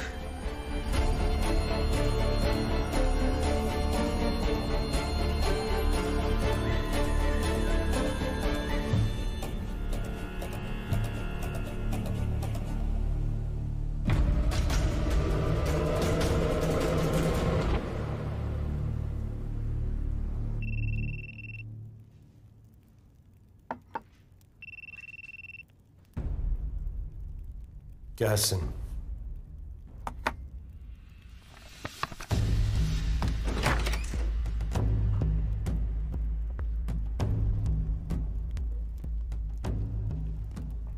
Hayırlı akşamlar. Gel başım. Nizamettin Bey adınızı çok duyduk ama tanışmak nasip olmamıştı.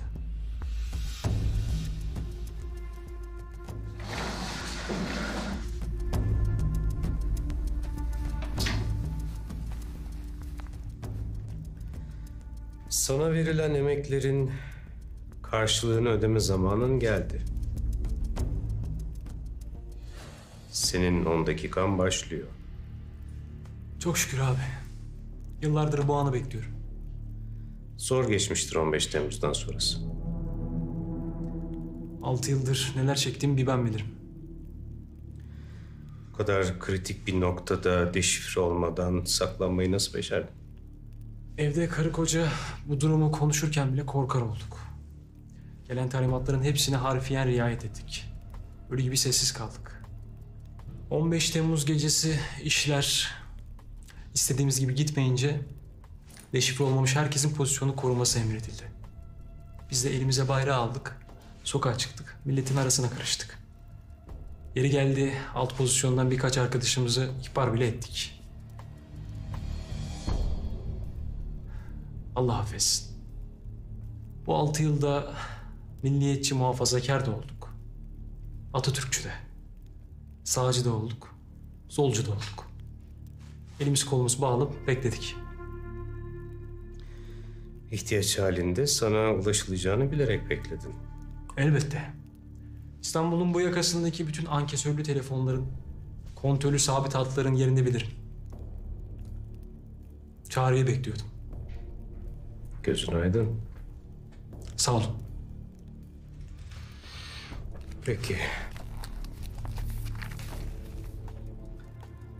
Sezai Sirmen Paşa hakkında ne bilirsin?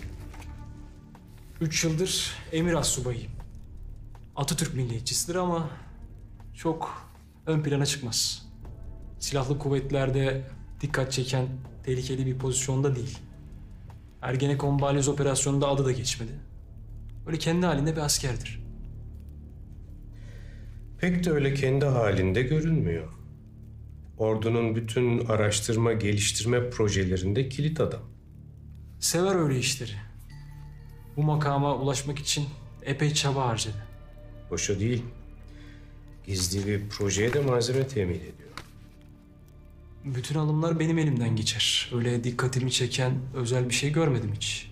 Her alımın hangi projeye gideceği bellidir. Titanyum kablolar hangi proje için? Titanyum kablolar mı? Benim ondan haberim yok. Artık var. Bu işi halletmemiz gerekiyor. Şimdi beni iyi dinle.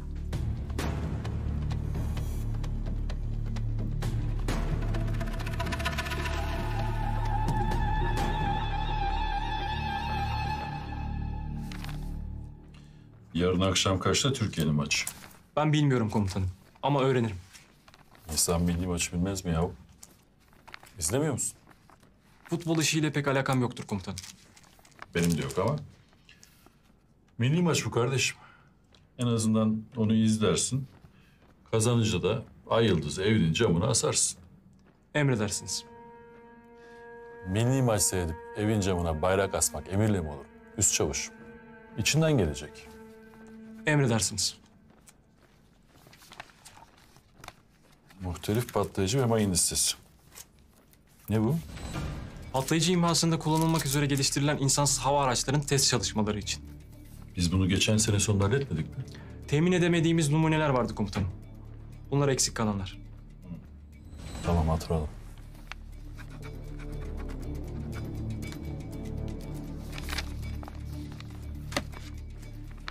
Maçı seyret maçı. Emredersiniz.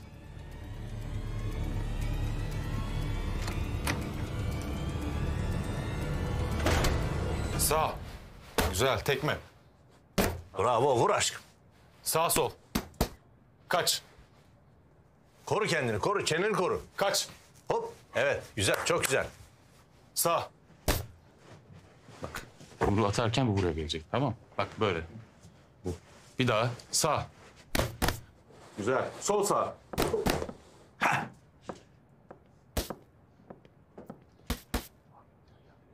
Sağ kroşe. Gelsin gelsin. Vur vur alttan alttan böbreklere çalış böbreklere vur vur böbreklere hayır böbreklere vur. Bravo. Güzel. Sağ sol. Lütfen devam edin. Devam devam devam hadi. Sol sağ. Çeneyi korumayı unutma. Sağ sol sağ. Güzel. Tekme. Niye bu kadından vazgeçemediğini anladım. Sert seviyorsun sen. Yok. Ben sadece Esra'yı seviyorum. Kaç. Bunu hep yapıyor musunuz? Hayır bu ilk ders. Bugün başladık. Vur. Kaç. Beş numara. Cumartesi değil pazar müsait. Pazar geliyoruz. Ona göre yap hazırlığını. Hallederim. Sağ sol sağ. Vur aşkım vur bravo. Gel. O gece de Altay'ın karşısında Esra olmayacak değil mi? Ben karımı böyle oyunlara alet etmem. Sol sağ. Bunun da seksi bir tarafı yok değil.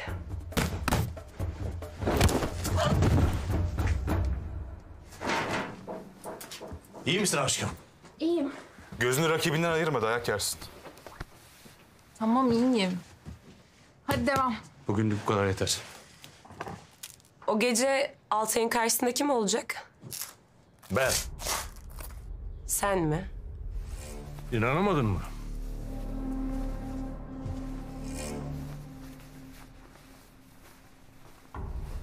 O zaman bir ön gösteri yapalım. Hadi Kurdoğlu. Ha?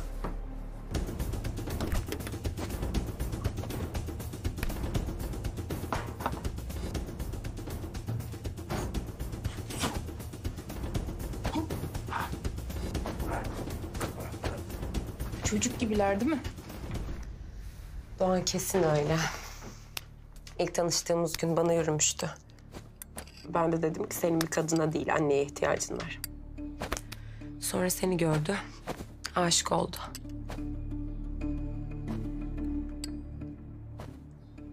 Kızın nerede? Babasının yanında. Evde iki çocuk fazla geldi tabii.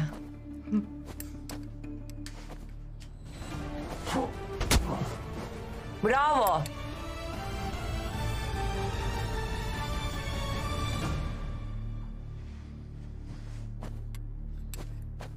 Ama bu adam diğerleri gibi şefkat isteyen bir çocuk değil. Tam bir vahşi. Vahşi kurt.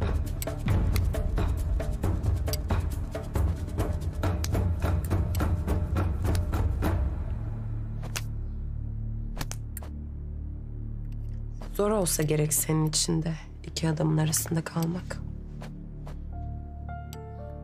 Doğan'ın seni ne kadar kıskandığını gördüm.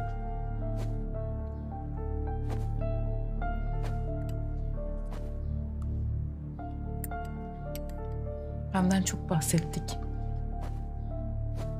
Sen kime annelik yapıyorsun? İnan hiç bilmek istemezsin.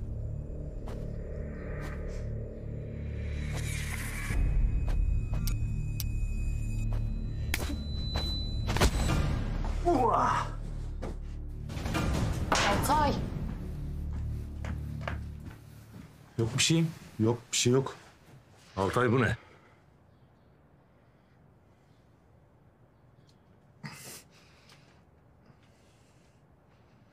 Ateşle dağlanmış burası. Başımızın çaresine baktık doktor. Sağlık sigortam yok benim. Şimdi devir değişti. Hangi hastanenin acile gitsiniz bakarlar size. Yapamayacaksan bırak doktor. Ya doktorla da mı kavga ediyorsun? Rahat bırak da adam işini yapsın. Sen ona bakma işini yap. Böyle önemli bir maçtan önce olacak iş mi bu? Belanın nereden geleceği belli olmuyor. Ne oldu? Yoldan geçerken ne bakıyorsun dediler sen de kafa göz daldın mı? Ne bakıyorsun?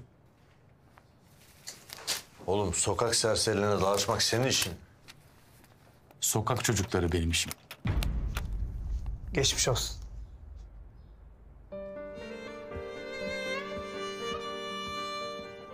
Sokak çocukları.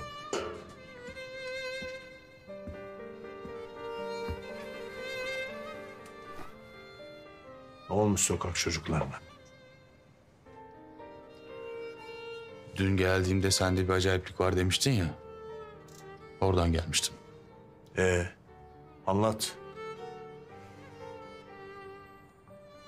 Bir gariban sokak çocuğunu kaçırmışlar. Haberim oldu. Bir gittim çocuk küvette yatıyor buzun içinde. Böbreğini almışlar. Ben de dalaklarını ellerine verdim. Ellerin dert görmesin. Gece bir yerde daha çıktılar karşıma. Bir daha dövdüm. O arada işte bir ufak köpek ısırdı. Kimmiş bu itler? Deli Cüneyt'miş sahiplerinin namı. Deli görmemişler tabii. Cüneyt. Sefer!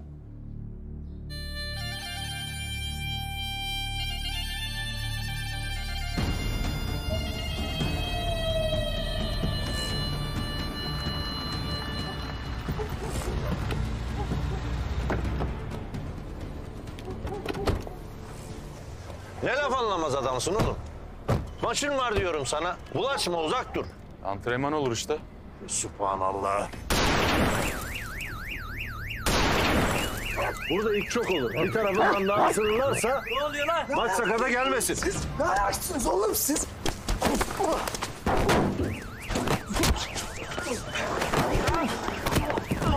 Lan ne oluyor lan? İbiş.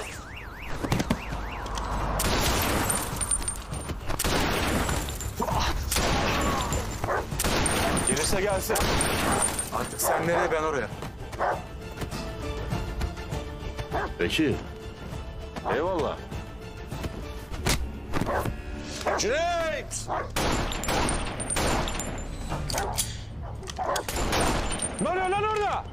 Benim paşam. Tanımadın mı sesimden? abi kusura bakma sen miydin? Kalkın lan geri zekalılar. Kalkın. Tanımadınız mı lan abinizi? Kusura bakma abi arkadaşlar tanıyamadı. Haydır abi bir hatamız mı oldu? Böyle gürültülü gel. Sen bu abini tanıyor musun? Yok abi tanışmadık. Ne diye tanımadığın adamlara artistlik yapıyorsun? Meseleyi bilmiyorum ama yanlış yapmışız abi. Yanlış yaptı.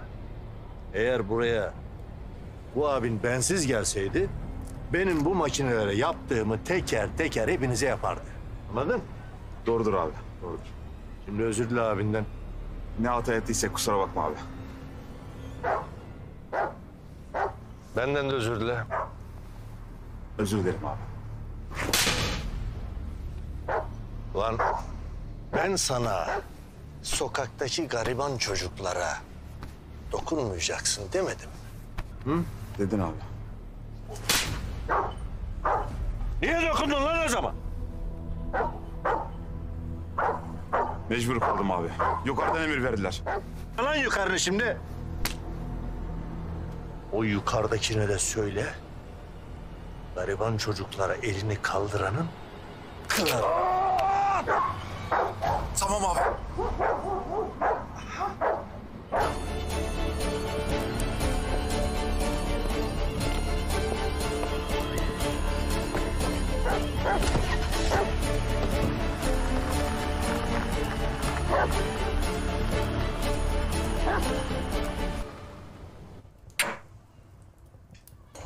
Öyle mi dedi? Evet Gıyasettin abi öyle dedi. Yanında biri var demiştin. O kim? Onu tanımıyorum. İlk defa gördüm. Ama sağlam birine benziyor. Parmağını o mu üflattı? Parmağımı Doğan kırdı. O sana bahsettiğim adam bizim elemanın kolunu kırdı.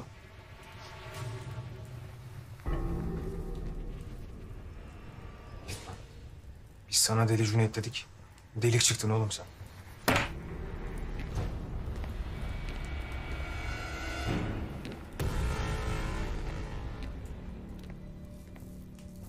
Ne bakıyorsunuz lan? İçeri!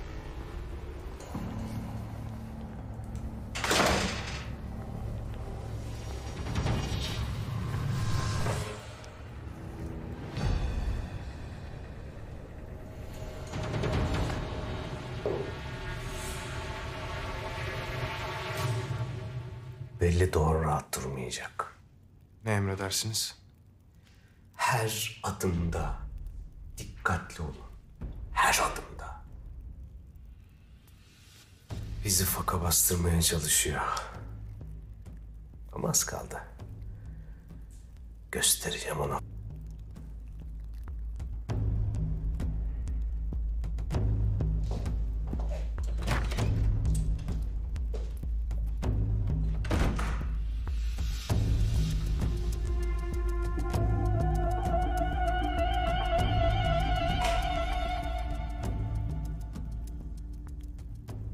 Yeni bir iş peşinde. Hangara ağır bir misafiri gelecek.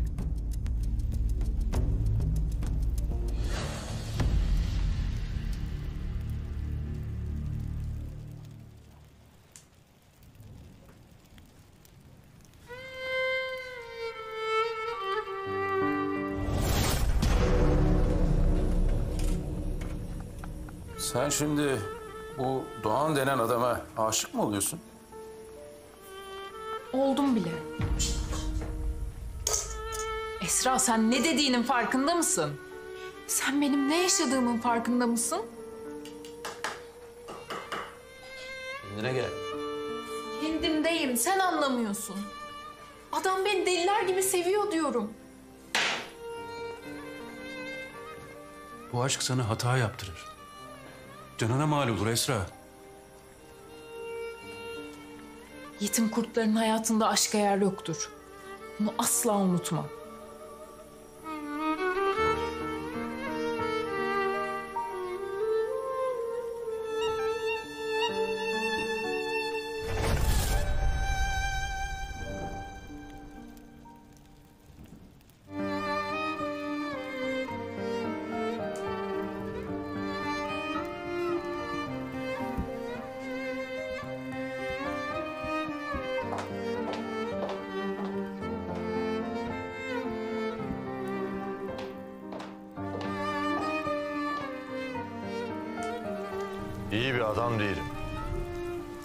Çok günahım var.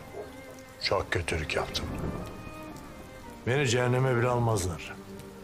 Ama çocuklar söz konusu olunca hele gariban sokak çocukları içimden başka bir şey çıkıyor.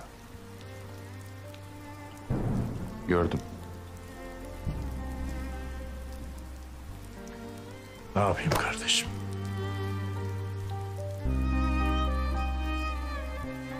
Biz de o yollardan geçtik.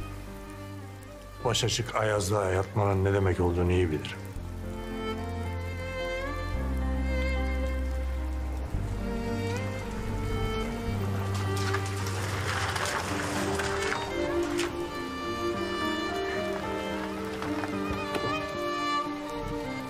Yetim kurtların hayatında aşka yer yoktur. Bunu asla unutma.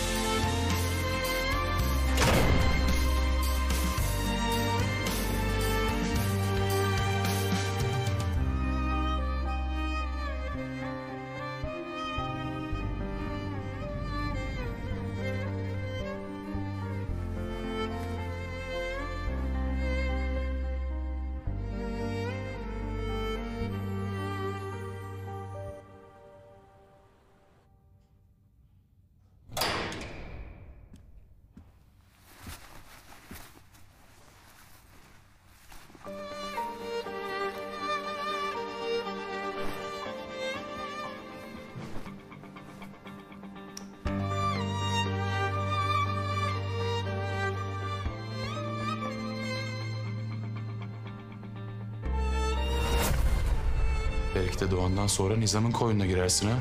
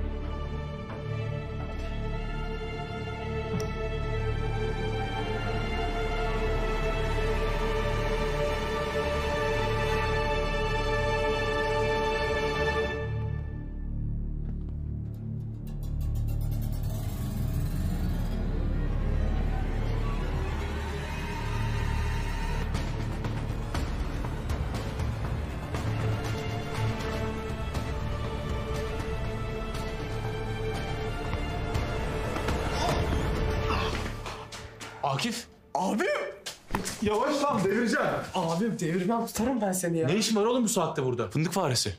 Ya abim seni takip edip bulmuşlar. Hani beni de takip ettilerse bizim çocukların başına belaya sokmak istemedim. Aferin. Bir de seni merak ettim. Bir yerinde bir delik deşik bir şey var mı? Var. Ne yapacaksın? Ya abim. Bana çocuklar doktor Akif der. Hani elinden el iş gelir. Bir bakayım ya. Çaresiz derdimin sebebi belli. Ha? Derman yaramda. Arama doktor. Aşk yarasıdır bu. ilaç kapatmaz. Verdiğin teselli beni avutmaz. Aşk yarasıdır bu, ilaç kapatmaz. Verdiğin teselli beni avutmaz. Sende bulunmaz. Boşuna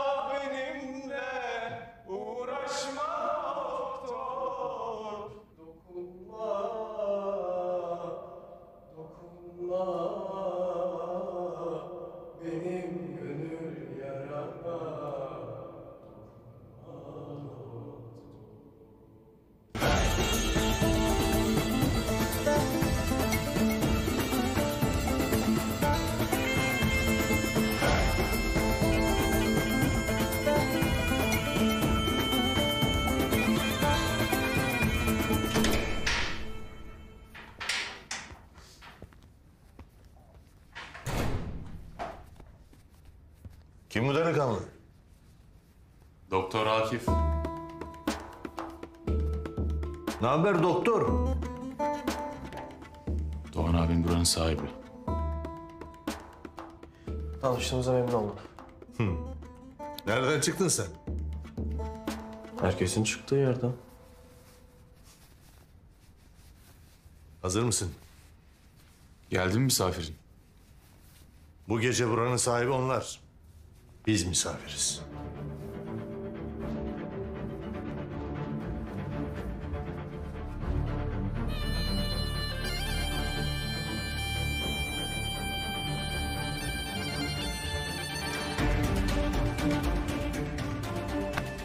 Sar.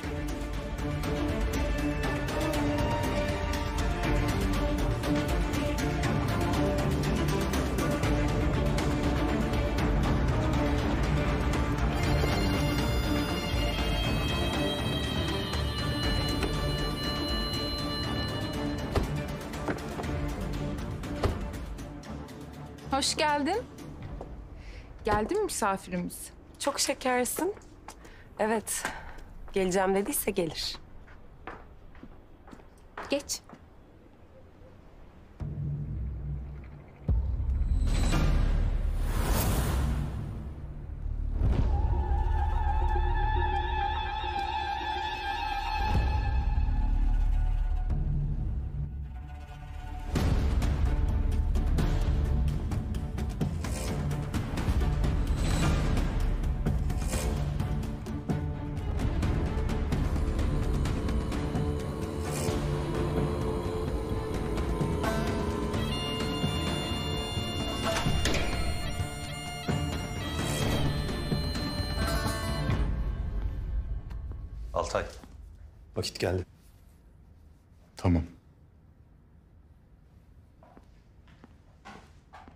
Akif.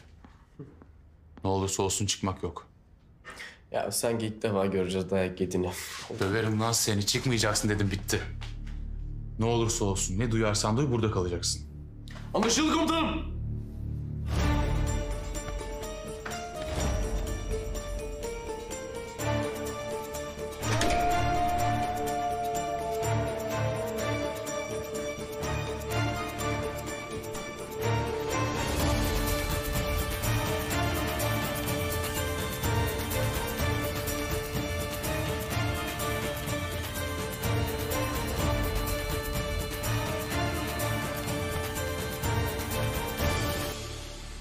Nerede seninki? Her yerde.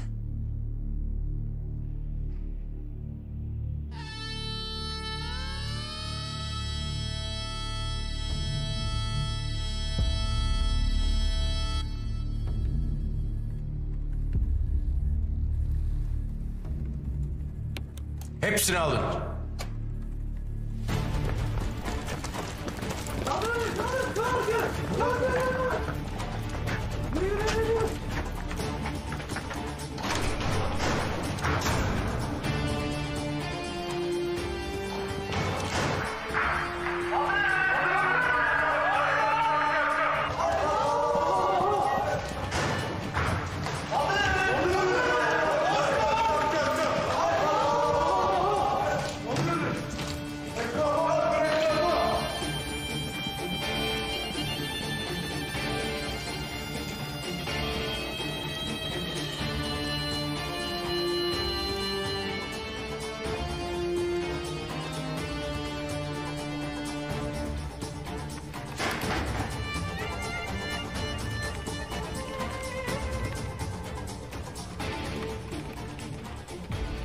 Tespit edebildiniz mi? Sinyali yakaladım. Bağlantı bizi Atina'ya götürüyor. Sakın kaybetme. Tam yerini istiyorum. Ee, benim yakaladığım sinyal Madagaskar'a gidiyor. Benimki ciddi. Kiev. Şimdi Kabil oldu. Adam oturmuş İstanbul'da bizimle dalga geçiyor.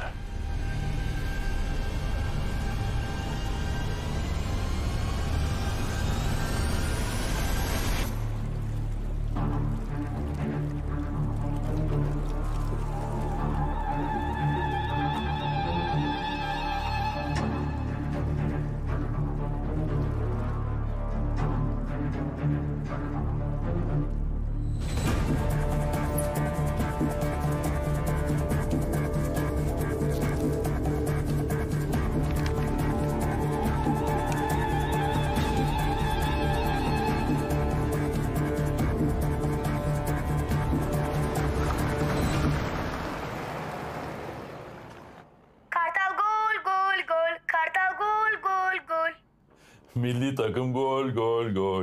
Öyle değil dede. Bugün milli maç var oğlum. Bugünlük öyle olsun. Annem diyor ki bize gelsin maç seyretmeye. Gelsene dede. Tamam lan kerata. Akşam geliyorum. Oley! Dur şimdi kapatıyorum. Akşam görüşürüz. Gel. Getir oğlum. Buyurun komutanım.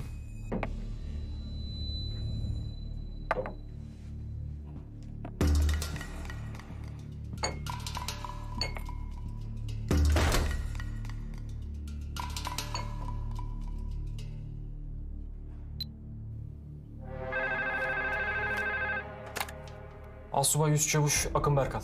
Akın. Arabayı hazırlat. Depoya gideceğiz. Emredersiniz komutanım.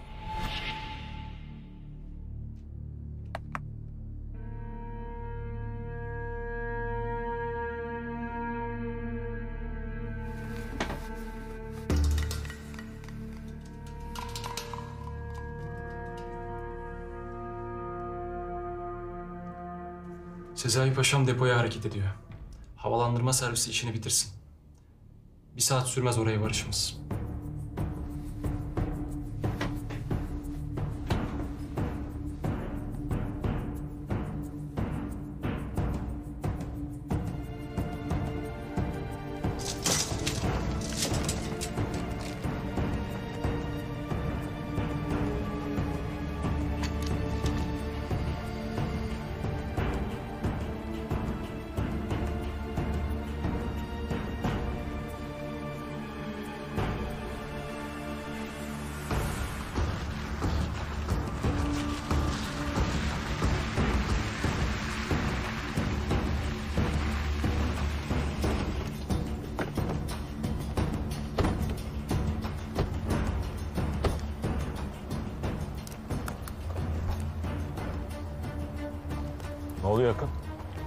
Deponun havalandırmasında bir sorun oldu dün gece komutanım. Onu hallediyorlar. Başka bir şirket değil miydi bizde servis falan? Birkaç gün sonraya attılar randevuyu. Ben de gecikmesin diye bunlarla irtibat kurdum. İyi yapmışsın. Havalandırma işi mühim. Zehirlenme olayından sonra kesin emriniz vardı. Sürekli kontrol edilsin diye. Öyle yapıyoruz komutanım. Bunları kontrol ettin mi? Bazı kritik noktalarda silahlı kuvvetlerine hizmet vermiş referansı olan bir firma. İyi. Bitti mi sayım işi? Bitti galiba komutanım. Siz isterseniz içeri buyurun. Burada beklemeyin. Ben de şu servisi gönderip geliyorum. Halletmişler galiba.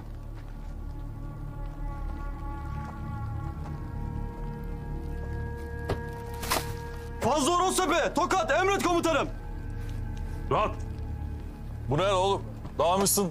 Çöpleri topladım komutanım. Hem ben kendime nizam vereceğim komutanım. Aferin. Türk askerine böyle görünmek yakışmaz. Emredersiniz komutanım.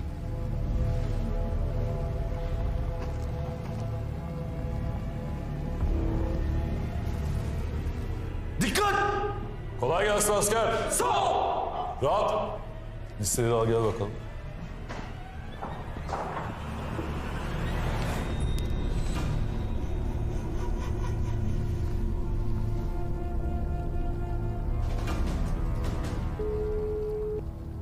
Deponun havalandırma sorunu çözüldü. Servis ayrıldı. Komutan da sayım kontrolü için depoya girişi yaptı. Tamamdır.